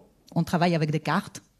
Et pas seulement on travaille avec les cartes, mais les cartes, pendant tous les 50, euh, oui, 50 ans, sont principalement des cartes qui, qui mettent en valeur des éléments qui ne concernent pas les piétons ou qui ne sont pas perçus euh, facilement par les piétons. C'est-à-dire, sont des, des éléments, par exemple, on a des cartes, on a les autoroutes, on a les, les- les- grandes lignes. Enfin, les piétons ne, ne, ne- ne s'orientent pas comme ça, en fait, en réalité, dans l'espace. Ils cherchent des raccourcis, ils trouvent des raccourcis, ils explorent différemment l'espace. Donc, en fait, il y a aussi ce besoin de. Je donne un exemple, euh, un exemple de, de, de, enfin, de nos, nos recherches, notre recherche dans le cadre d'un, euh, PLU. En fait, on se disait, on prend euh, la carte cadastrale et au, lieu de montrer toutes les parcellaires, les lignes, enfin, les grandes autoroutes, etc., en fait, on a mis en vert tout ce qui n'était pas bâti. Donc, en fait, tout d'un coup, il y a une couche qui sort où on voit une matrice extrêmement riche, en fait, des espaces potentiellement arpentables. Je ne dis pas que tous ces espaces sont arpentables, mais il y a, c'est assez choquant de voir que finalement, dans certa- certaines communes, comme par exemple, euh, c'est le cas de plusieurs communes périurbaines, l'espace non bâti a un potentiel énorme c'est en pourcentage plus grand, plus grand que l'espace bâti. Après, troisième carte qu'on fait, c'est de cette matrice verte, on, on met en rouge tout l'espace occupé par la voiture. Et là, on est très déçus. Parce que ah, parce qu'on voit finalement que de, de- de tout cet espace potentiel, une énorme partie est euh, adressée aujourd'hui en voiture ou aux espaces non utilisés, clôturés, etc., non accessibles pour les piétons. Donc ça, ça m'intéresse vraiment ce que vous dites parce qu'en fait, je pense qu'il y a quand même de grandes marges d'innovation pour les urbanistes à travers les documents en fait qu'on utilise pour montrer, pour regarder différemment la ville. Regardez qu'en fait, oui, en fait, il y a, il y a là, on a une autoroute et une, une zone que nous, on voit comme enclave. Mais pour un monsieur euh, qui, qui aime explorer différemment, en fait, il passe entre les grands ensembles et il découvre un, un raccourci qui apparaît pas sur nos- notre vision, en fait. Euh, il y, a- y y le fait de regarder la ville, mais euh, aussi de, de la construire. Comment est-ce qu'on construit cette ville euh, allez, On va pas dire de demain, d'aujourd'hui. Comment est-ce qu'on on évite les erreurs qui ont pu être faites au siècle dernier euh, de zoner peut-être euh, la ville. Comment on répare et comment on construit autrement pour, euh, ben que les gens restent à pied, n'utilisent pas, de, véhicules polluants? Tu veux répondre, David, peut-être Euh, David, Non, euh, ah, bah, j'ai besoin de ton, de, ton, de ton avis aussi sur la question de hum, les débats aujourd'hui sur la densification. Et c'est un, dé- un débat un peu euh, tabou, on dirait, parce qu'en fait, euh, toutes les, les recherches montrent que la ville plus performante au niveau énergétique, c'est la ville dense. Et en même temps, quand tu fais de- des ateliers, par exemple, de concertation publique, tu arrives autour de la table, tu dis aux habitants, là, il faut densifier. Et tout le monde dit, il y a trop tout de- le monde c'est dit, bah non, en fait, on ne veut pas du tout densifier. Donc, c'est très intéressant de parler de ça, moi, je pense, aujourd'hui et en général, euh, de cette histoire qu'en fait, la ville, on n'a plus, on n'a plus, en fait, les ressources, on n'a plus les, les privilèges, enfin, oui, le luxe de faire comme on faisait. Donc, euh, la question des sols euh, est très importante. Les sols sont très rares, de plus en plus rares. Et la démographie euh, galopante. Et la démographie galopante. Donc il y a cette question de densification. Comment on fait autrement? Bah, On fait autrement aussi en pensant différemment toutes les synergies entre tous ces déplacements, en fait. Parce qu'avant, pendant très longtemps, en fait, on avait une pensée assez fragmentaire. On disait, euh, les, cyclistes, vous disiez tout à l'heure, oui, les cyclistes, euh, la fédération, je ne sais pas, ils ont beaucoup de... Enfin, parce qu'ils sont très visibles, parce qu'ils sont recon- reconnus comme un groupe. Les piétons, on ne peut pas être facilement reconnu comme un groupe parce qu'on est tous, enfin, on est tous piétons. Enfin, on va pas, enfin, on va pas, peut-être on va faire une association, mais une association avec tous les habitants de la France. Bon, je sais Oui, pas. non, mais euh, on est tous piétons, on apprend à marcher à un an. Euh, mais si on sort pas de ces évidences-là, effectivement, bah, ok, on parle de tout le monde et donc de personne. Ah, ah, Alors ça change un petit peu, ça justement. Vous me disiez avant, que le débat euh, démarre que vous aviez assisté à une réunion pas plus tard qu'il y a une semaine au plus haut sommet de l'État sur la prise en compte euh, de la marche des marcheurs, euh, en l'occurrence là pour la pour la Fédération française de randonnée euh, sur des sur sur l'aménagement. Oui, donc se tenait vendredi, vendredi dernier le premier comité interministériel du plan national vélo et marche. Waouh Cinq ministres, euh, l'intro par euh, la première ministre, beaucoup de, euh, comment dire, quelque chose d'assez imposant. Euh, alors, la première bonne surprise, euh, c'est quand à la fédération de randonnée, on a reçu l'invitation. Ça, ah, ça, ça change. on est sur quelle liste là maintenant Euh, On est invité euh, à, à ce type de, de rencontre. Euh, en arrivant, deuxième bonne surprise, hein, tout, l'affichage, c'était plan vélo et marche. Et ça, c'est quand même la première fois. Euh, Jusqu'à présent, il y avait effectivement des plans vélo euh, au niveau de l'État. Et là, on a vu apparaître le mot marche. Donc, deuxième bouffée d'enthousiasme, qui est un peu redescendu au moment de l'annonce des chiffres, euh, puisque euh, sur les quatre prochaines années, euh, l'État va mettre 2 milliards sur le vélo et 4 millions sur la marche. Bon. Là, on des chiffres qui parlent d'eux-mêmes. Ok, euh, mais bon, c'est quand même un progrès par rapport à avant où il n'y avait pas écrit marche, il y avait zéro euro et on n'était pas invité. Euh, donc voilà, ou- outre l'anecdote, euh, mais c'est quand même voilà, on, on voit apparaître effectivement le, le mot marche, on voit apparaître des moyens qu'on peut effectivement juger euh, un peu légers euh, qui qui sont mis qui sont mis en avant. Donc oui, il y a quand même euh, du, du, du progrès.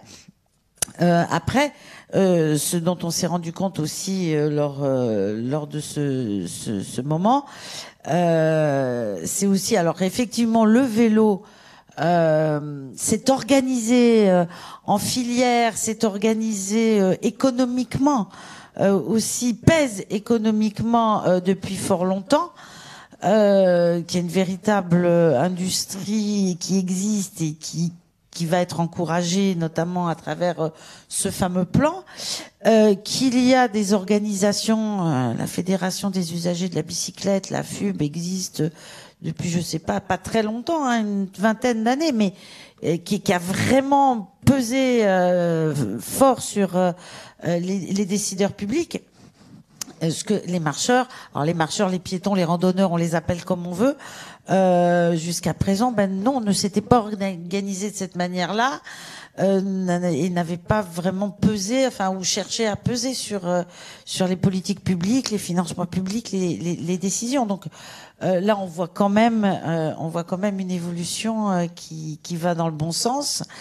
Euh, après, il y a quand même l'é- l'échelon des collectivités territoriales euh, qui, qui est déterminant parce que même cet argent qui est dégagé, euh, annoncé par l'État, en fait, il est en grande partie, et notamment la partie sur la marche, destiné euh, à financer euh, des projets portés par des collectivités.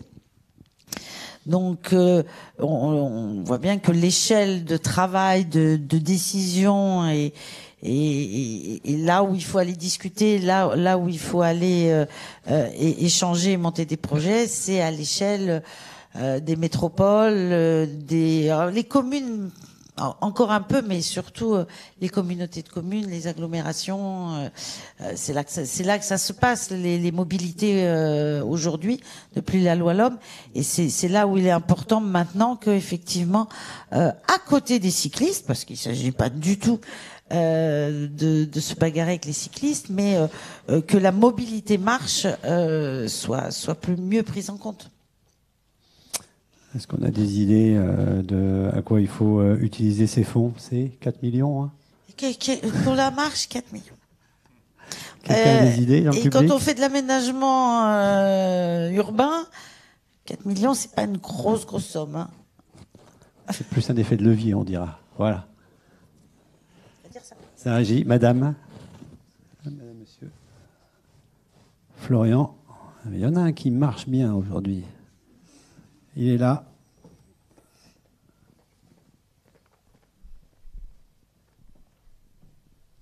Bonsoir.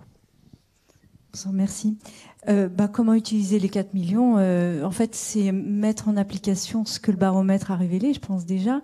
Euh, D'ailleurs, enfin, une petite question comme ça, un petit pas de côté qu'est-ce que vous avez comme, euh, moyen de pression pour euh, rendre ce baromètre un peu, enfin l'imposer dans les esprits et, et, faire en sorte que ce soit pas juste anecdotique, mais je pense que euh, il y a, enfin, rendre la ville marchable, ça veut dire donner le plaisir de marcher, mais il y a avant tout euh, rendre la marche compétitive avec les autres moyens de, de, transport. Et donc pour ça, il faut que les distances soient courtes, vous l'avez dit euh, de, de, façon différente, mais ça veut dire repenser l'urbanisme pour que ce qui est, euh, ce, qui, ce qui répond à nos besoins soit dans des distances qu'on peut parcourir rapide dans un laps de temps raisonnable. On n'est pas tous en retraite et on n'a pas tous une demi-journée pour aller à la mairie, par exemple.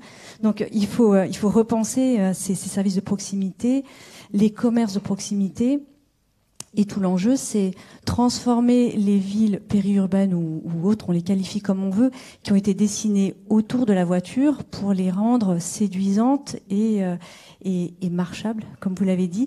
Et et j'en finirai par ça, il y a aussi un aspect sécurité, vous l'avez évoqué assez rapidement, euh, mais moi je pense, euh, donc sécurité, se sentir en sécurité quand on marche c'est se sentir en sécurité dans les quartiers dans lesquels on marche, c'est aussi vis-à-vis -vis des voitures. Et là aussi, finalement, tous les, aménagements sécuritaires, ils ont été pensés pour la voiture et, pas pour le piéton. Je prendrai juste un seul exemple. J'ai plein d'endroits en tête euh, à Nantes et à Saint-Herblain où les passages piétons ne sont pas éclairés.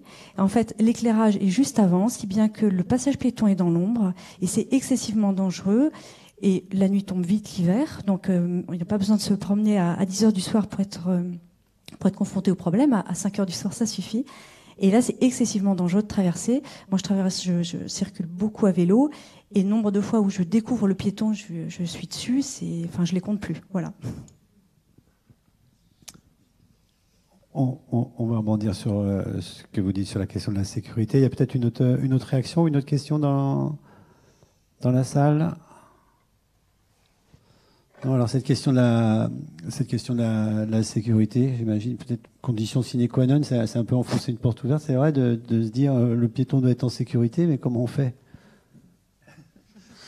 Bah oui, il faut des espaces effectivement différents pour les cyclistes, pour euh, les trottinettes, pour euh, les piétons, pour les voitures. Il faut essayer d'éviter la c'est pour ça qu'il y a, à mon avis, beaucoup d'argent qui est mis plutôt sur, le, sur les cyclistes que sur les piétons. C'est-à-dire aménager les pistes cyclables, et les distinguer des trottoirs et de, de la rue. La question de l'éclairage urbain est vraiment très importante. C'est évident que là où, où les lieux sont mal éclairés, ils seront davantage propices non seulement aux accidents, mais je dirais aussi à la délinquance. Ça, rendra le, les parcours beaucoup plus compliqués pour les femmes, par exemple, qui n'oseront guère s'aventurer dans ces endroits très, très très peu éclairé. Donc quand on veut faire des économies, par exemple en matière d'énergie, il faut aussi penser aux incidences sociales que ça peut provoquer en rendant certains quartiers quand même assez peu fréquentables, ou en tous les cas, on va les, on va les traverser avec inquiétude. Euh, voilà, c'est ça qui me vient tout de suite à l'esprit par rapport à l'insécurité. Eh, oui, non, pardon, juste, et puis les rez-de-chaussée, en fait, euh, des rez-de-chaussée euh, denses et animés, parce qu'il y a aussi cette question, enfin, c'est-à-dire de la sécurité. C'est pas juste la sécurité euh, corporelle, euh, comment on marche, euh, si c'est jour un, un pavage confortable, etc., avec les bornes, mais c'est aussi comment on ressent en sécurité en traversant une rue. Et peut-être euh, en traversant une petite ruelle euh, la nuit, euh, je ne sais pas, la, dame là qui a fait ce commentaire, peut-être on peut, on peut en parler après.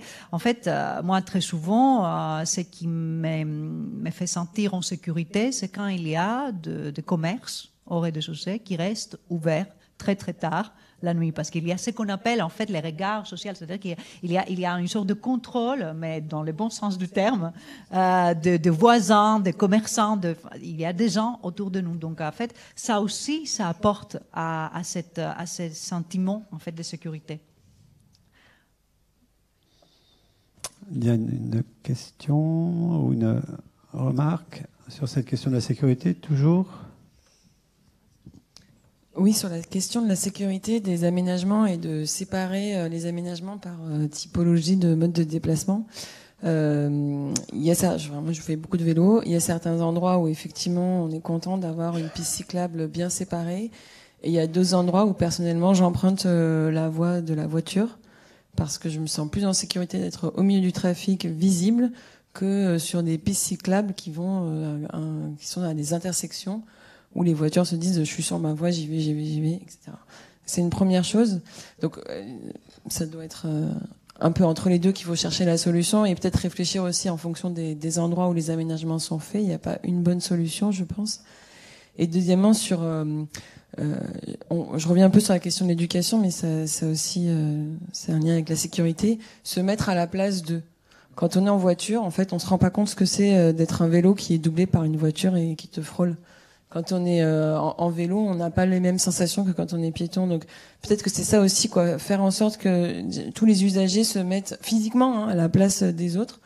Et j'avais vu un, un, reportage sur euh, des conducteurs de bus, en fait. Alors c'était à l'étranger.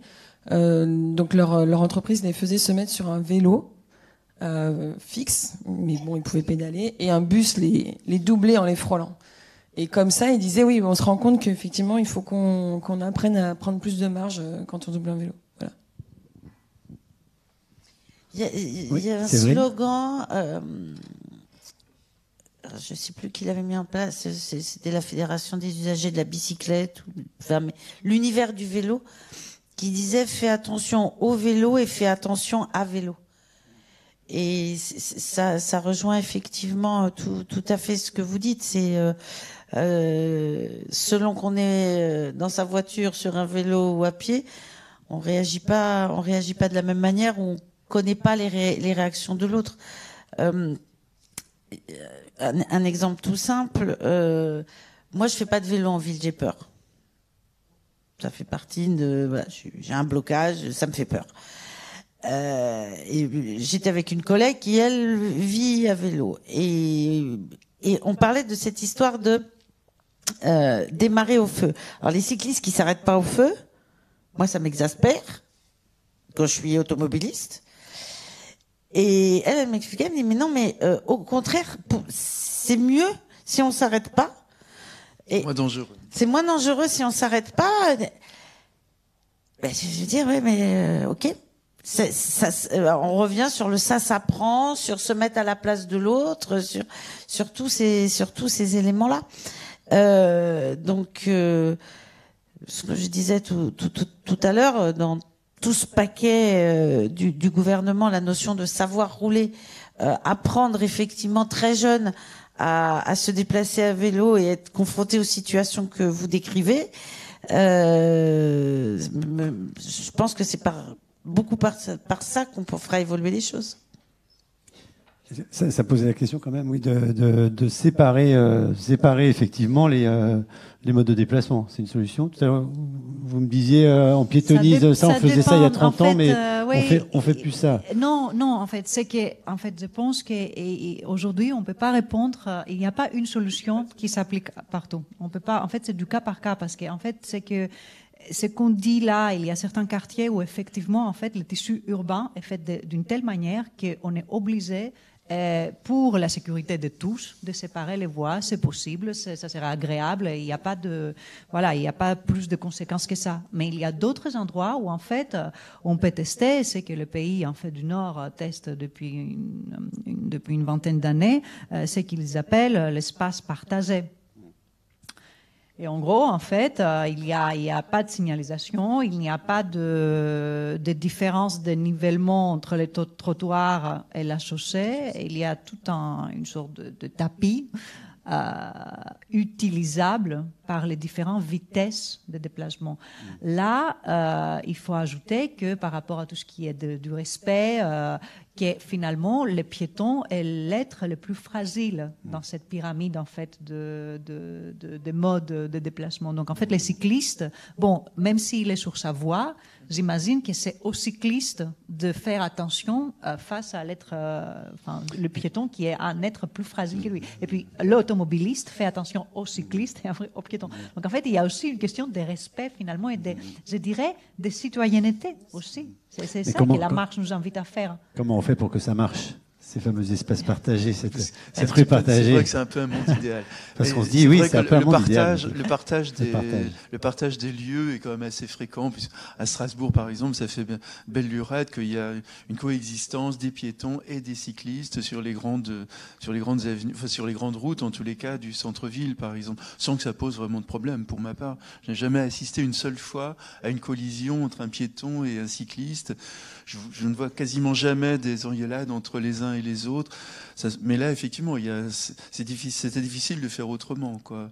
Mais dans d'autres endroits, il faut en effet partager, il faut diviser, distinguer absolument les, les mobilités. Parce que...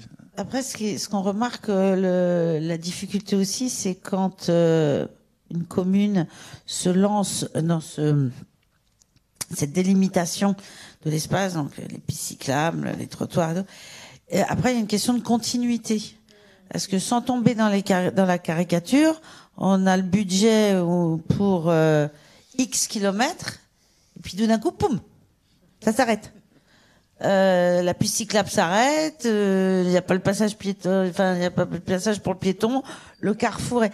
Donc euh, moi j'ai beaucoup entendu aussi euh, des collectivités dire le problème c'est quand on déclenche un programme de ben, investissement et c'est des investissements lourds euh, de pistes cyclables, de voies piétonnes et tout, c'est que il faut pouvoir euh, mettre une cohérence et une continuité euh, dans, dans, cet aménagement et que et c'est là où on trouve effectivement des sommes importantes parce que et souvent ben, c'est des bouts la piste cyclable, elle est sur un, bout, et, et, quand ça s'arrête, là, il y a souvent des zones qui, qui, sont effectivement dangereuses, parce que les gens, ben, je suis sur ma piste cyclable, je roule à fond la caisse, euh, et puis non, tout d'un coup, elle, elle s'arrête, puis il y a les piétons, et donc, euh, je pense que du, du côté des, des, élus en charge des mobilités, euh, ce choix d'espace partagé ou d'espace cloisonné,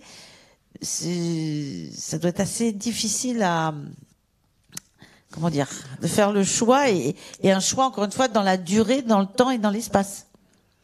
On a, on a quelqu'un de compétent en la matière. Peut-être que peut-être que Monsieur le maire vous voulez euh, Monsieur le vice-président euh, chargé des, des, déplacements, pardon. Florian, sur cette question peut-être de l'espace euh, partagé, c'est justement la, la chance d'avoir un, un, décideur sur, euh, sur, ces, euh, sur ces questions. Alors, je ne suis pas spécialiste des, des, modes actifs, comme on dit vélo et, piéton, puisque c'est un collègue avec qui je partage cette responsabilité. Euh, néanmoins, j'ai évidemment un, une petite idée sur le, la question, à force, ne serait-ce qu'à force de travailler avec lui et avec les services concernés. Euh, ce que moi je vois, c'est qu'on peut avoir des, et, et ça a été dit, hein, des, des, solutions différentes. C'est-à-dire que parfois, quand on a de l'espace, euh, eh ben, on réduit la place de la voiture simplement, et on utilise la place de la voiture pour faire autre chose. Quand on n'a pas d'espace, et ça arrive parfois, ou quand on veut limiter l'artificialisation des sols, ce qui arrive aussi, et par rapport à ce que disait monsieur, pour aller par exemple de la crémétrie euh, au bourg de Saint-Herblain, ben, on a une, une, voie verte. Donc la voie verte, elle est partagée entre les piétons et les vélos. Donc vous avez des piétons qui, euh, euh, qui marchent, vous avez des vélos qui se déplacent parfois assez vite, mais il y a suffisamment d'espace, ça doit faire au moins 3 mètres, pour qu'on puisse doubler ou se croiser. Et puis ça, c'est souvent effectivement plutôt dans des zones qui sont relativement euh, préservées, et justement on essaie de faire en sorte de, de, de garder le plus d'espace naturel possible. Euh, y a, alors c'est assez, assez marrant, je pense que les randonneurs le savent, mais à Saint-Hermelin, vous pouvez partir du nord de la commune et descendre quasiment jusqu'à la Loire, ça doit faire à peu près 6 km. Pour l'instant, il nous manque encore 200 mètres à pied et on va y arriver. Hein. un moment un autre, on y arrivera. Euh, S'il manque, plus, manque plus que 200 mètres, là. Non, non, mais il manque 200 mètres parce qu'il y a des installations portuaires. Et là, on peut pas, pour l'instant, en tout cas, y, y arriver. Euh, mais on peut traverser effectivement à pied euh, la commune. Il nous manque et effectivement parfois sans doute une cartographie euh, parce que l'association R&D Tente fait euh, le, jalonnement des, chemins de randonnée que nous avons avec euh, suffisamment qualitativement pour que ça reste dans le temps et c'est régulièrement entretenu d'ailleurs. Et euh, en dehors de ces chemins de randonnée, il y a des tas d'endroits effectivement où on peut circuler, passer d'un quartier à un autre, mais on n'a pas forcément de cartographie. Et monsieur a parfaitement raison, on n'a pas forcément de cartographie. et en plus, ça bouge. Donc ça veut dire que quand vous imprimez un document, euh, ce document-là, il se retrouve très vite euh, obsolète, hein, en bout d'un an ou deux. Et donc, il faut qu'on travaille aussi sur des documents qu'on puisse incrémenter dans le temps, et notamment peut-être avec des supports numériques. Alors même si effectivement il faut un smartphone, même si ça peut être un peu compliqué à, à compulser. En milieu urbain, c'est plus facile que oui, en zone rurale. Il n'y a pas de, il a pas de zone de zone grise ou quasiment pas, en tout cas en termes de pour pour accéder au réseau. Donc c'est des questions qui peuvent qui peuvent nous être posées, et donc on revient bien en fait sur les infrastructures nécessaires d'une part, et puis aussi les, coller aux usages et apporter des services pour les usages de, des usages de mobilité euh, ou pour euh, pour simplement se déplacer à se déplacer à pied, euh, marcher sur une, une commune. En plus, une commune périurbaine. Alors périurbaine, pas forcément. Moi, parce qu'on est quand même plutôt en zone urbaine, hein, assez, parfois assez dense, euh, mais assez vite, en fait, quand on commence à aller vers l'ouest de la commune, on se retrouve effectivement en périurbain. Et donc, euh, c'est comment euh, on arrive à, articuler euh, un urbanisme dont on a hérité. Hein, pour l'urbanisme des boîtes à chaussures, c'est pas nous qui l'avons choisi. D'ailleurs, il n'y a pas eu d'urbanisme. Hein, voilà, c'est-à-dire qu'à un moment, vous avez des propriétaires, il y a une route, et des gens qui se sont dit tiens, on va mettre un magasin. Et donc voilà, on a une kyrielle de magasins, ça s'appelle la route de Vannes pour ceux qui connaissent par exemple. Après, on a des zones commerciales, donc là, euh, on en hérite aussi. Et comment, effectivement, est-ce qu'on arrive à pouvoir les traverser à pied? C'est un, enjeu, par exemple, surtout quand elles sont au cœur de la commune. Comment traverser et comment aménager de la place pour euh, les marcheurs, pour les piétons et pour faire en sorte que on ne voit pas ce qu'on voit parfois, c'est-à-dire des gens qui viennent, qui posent leur voiture et qui, pour aller euh, à 500 mètres, reprennent leur voiture pour refaire un... Voilà, alors qu'ils pourraient très bien y aller à pied, euh, ou aller au restaurant après avoir fait leur course, ou aller voir un spectacle ou au cinéma, à pied sans reprendre leur voiture. Donc, c'est des, des, vrais sujets. Et euh, il y a une difficulté qu'on peut avoir aussi, notamment pour l'usage des piétons et l'usage des trottoirs, c'est que visiblement beaucoup de gens ignorent que euh, le trottoir est interdit en stationnement. Non, mais c'est bien de le rappeler. Tout le monde passe le code de la route. Euh, les seuls endroits où on a le droit de se stationner sur des, ce qui est assimilé à un trottoir, c'est quand on a des emplacements qui sont euh, dessinés pour ça. Mais s'il n'y a pas d'emplacement, on n'a pas le droit de se stationner sur un trottoir. Et ça coûte 135 euros. Hein. Donc l'amende est quand même un peu substantielle. Et euh, voilà, c'est vraiment la plaie dans les zones, euh, dans les zones urbaines. Euh, parfois même, il y a des endroits où on a, je pense qu'il y a quelques quelques élus, anciens élus dans la salle à qui ça rappellera des souvenirs, où dans une concertation pour un aménagement dans un quartier qui existe déjà, enfin qui est déjà construit, des gens nous disent mais oui, oui, on a bien de la place pour stationner les voitures dans un garage ou juste devant le garage mais euh, c'est pas pratique. Alors le matin à 7 heures, en fait, on sort la voiture du garage, on la stationne sur les places de stationnement public.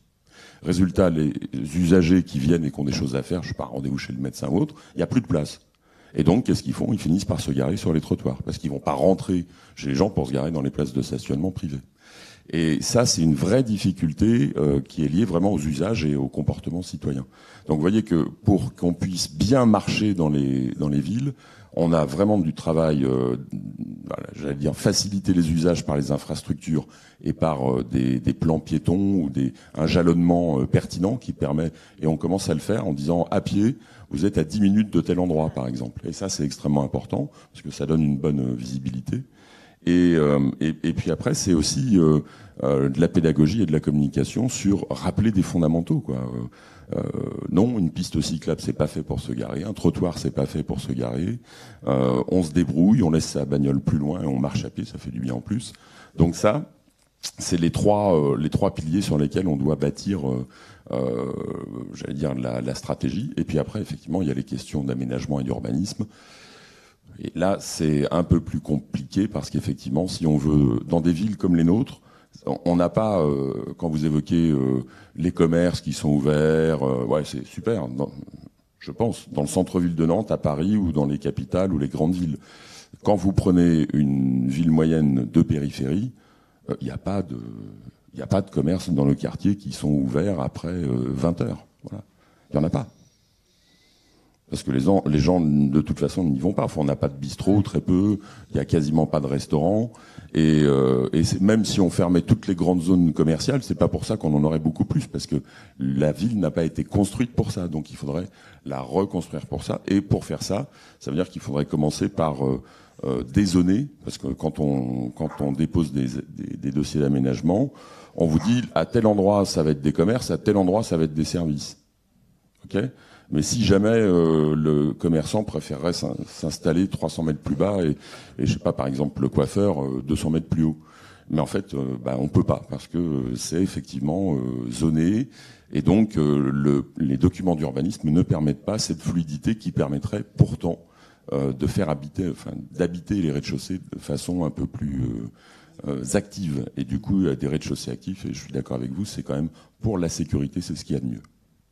Après, euh, les rez-de-chaussée-là, de cet ouais. équipement public, euh, je le trouve très réussi. C'est-à-dire c'est un rez-de-chaussée. Quand j'ai marché, euh, je suis arrivée en avance. Et en fait, le fait de regarder dedans, il y avait plein de gamins qui sortaient, etc. Donc, c'est pas juste, enfin, je donnais comme exemple les commerces, mais je pense que c'est aussi à travers les équipements publics, enfin, une piscine municipale avec des horaires. Enfin, il y a plein. À mon avis, il faut qu'on trouve pour chaque tissu urbain là où il y a du potentiel, en fait parce qu'effectivement, la ville, on ne va pas la refaire. Mais, quoique, là encore, je dirais, soyons un peu optimistes, parce qu'aujourd'hui, on dit, enfin, et c'est très normal, en fait, aujourd'hui, on ne peut pas faire autrement. Mais toutes ces procédures-là prennent du temps, et peut-être, euh, avec petit à petit, avec des petits pas, euh, à un autre débat public, euh, je ne sais pas, ici à Saint-Herblanc, après 40 ans, ils vont dire des choses différentes des, des, des, choses qu'on dit aujourd'hui. Donc en fait, je pense que c'est aussi d'accepter que, euh, de, de, nous permettre en fait d'être un peu optimistes et de se lancer dans une dynamique de changement de la ville dans le temps. Ne pas vouloir euh, des choses ici et maintenant, mais de dire ok, on fait une petite. Euh, une petite amélioration, nous, et après, à 5 ans, il y aura une autre petite amélioration. Et finalement, c'est comme ça que la ville change. Par petites touches. Oui. On a compris qu'il fallait multiplier les maisons des arts en attendant. Hein vaste, vaste chantier. Euh, on, on, arrive vraiment au terme de, de cette soirée. Peut-être l'un d'entre vous voulait euh, conclure, ou à moins qu'on ait euh, une dernière question dans le public. Monsieur? Oui, j'ai juste une, une, petite remarque par rapport à ce qu'a ce qu'a dit Monsieur le maire concernant la, la, connaissance des automobilistes de ce qui leur est autorisé ou pas autorisé quand je fais la réflexion à quelqu'un qui est garé sur le trottoir et que je dis mais vous savez qu'on n'a pas le droit de se garer sur le trottoir, le trottoir est un passage pour piétons. Une fois sur deux, on me dit ah oui mais je suis pas au courant, je suis pas de la commune ou je suis pas du quartier. voilà. Eh ben, je crois qu'on va revenir encore. On va, on va, conclure ce débat sur la marche, euh, encore sur cette, euh, sur cette voiture qui nous fait beaucoup parler. Dans la vie. Je voudrais remercier euh, bah, tout, les, tout, le public euh, présent euh, pour commencer, et puis euh, nos, nos, trois invités, Séverine Kaoui, Dimitra Kenelopoulou. Merci à vous aussi. David Le Breton, merci pour vous pour, pour ces échanges. Donc, je vous précise que le, le, le débat sera bien sûr pourra être regardé en replay. Et puis, il nous reste bien sûr à annoncer la dernière, la dernière soirée de la saison Place Publique à Maison des Arts on va peut-être le faire. J'oublie, j'allais oublier. C'est le jeudi 8 juin et ça sera sur un tout autre sujet qui aide les aidants. Voilà. Merci à tous. Il est 22h. Bonne soirée et à une prochaine fois. Au revoir. Merci à vous.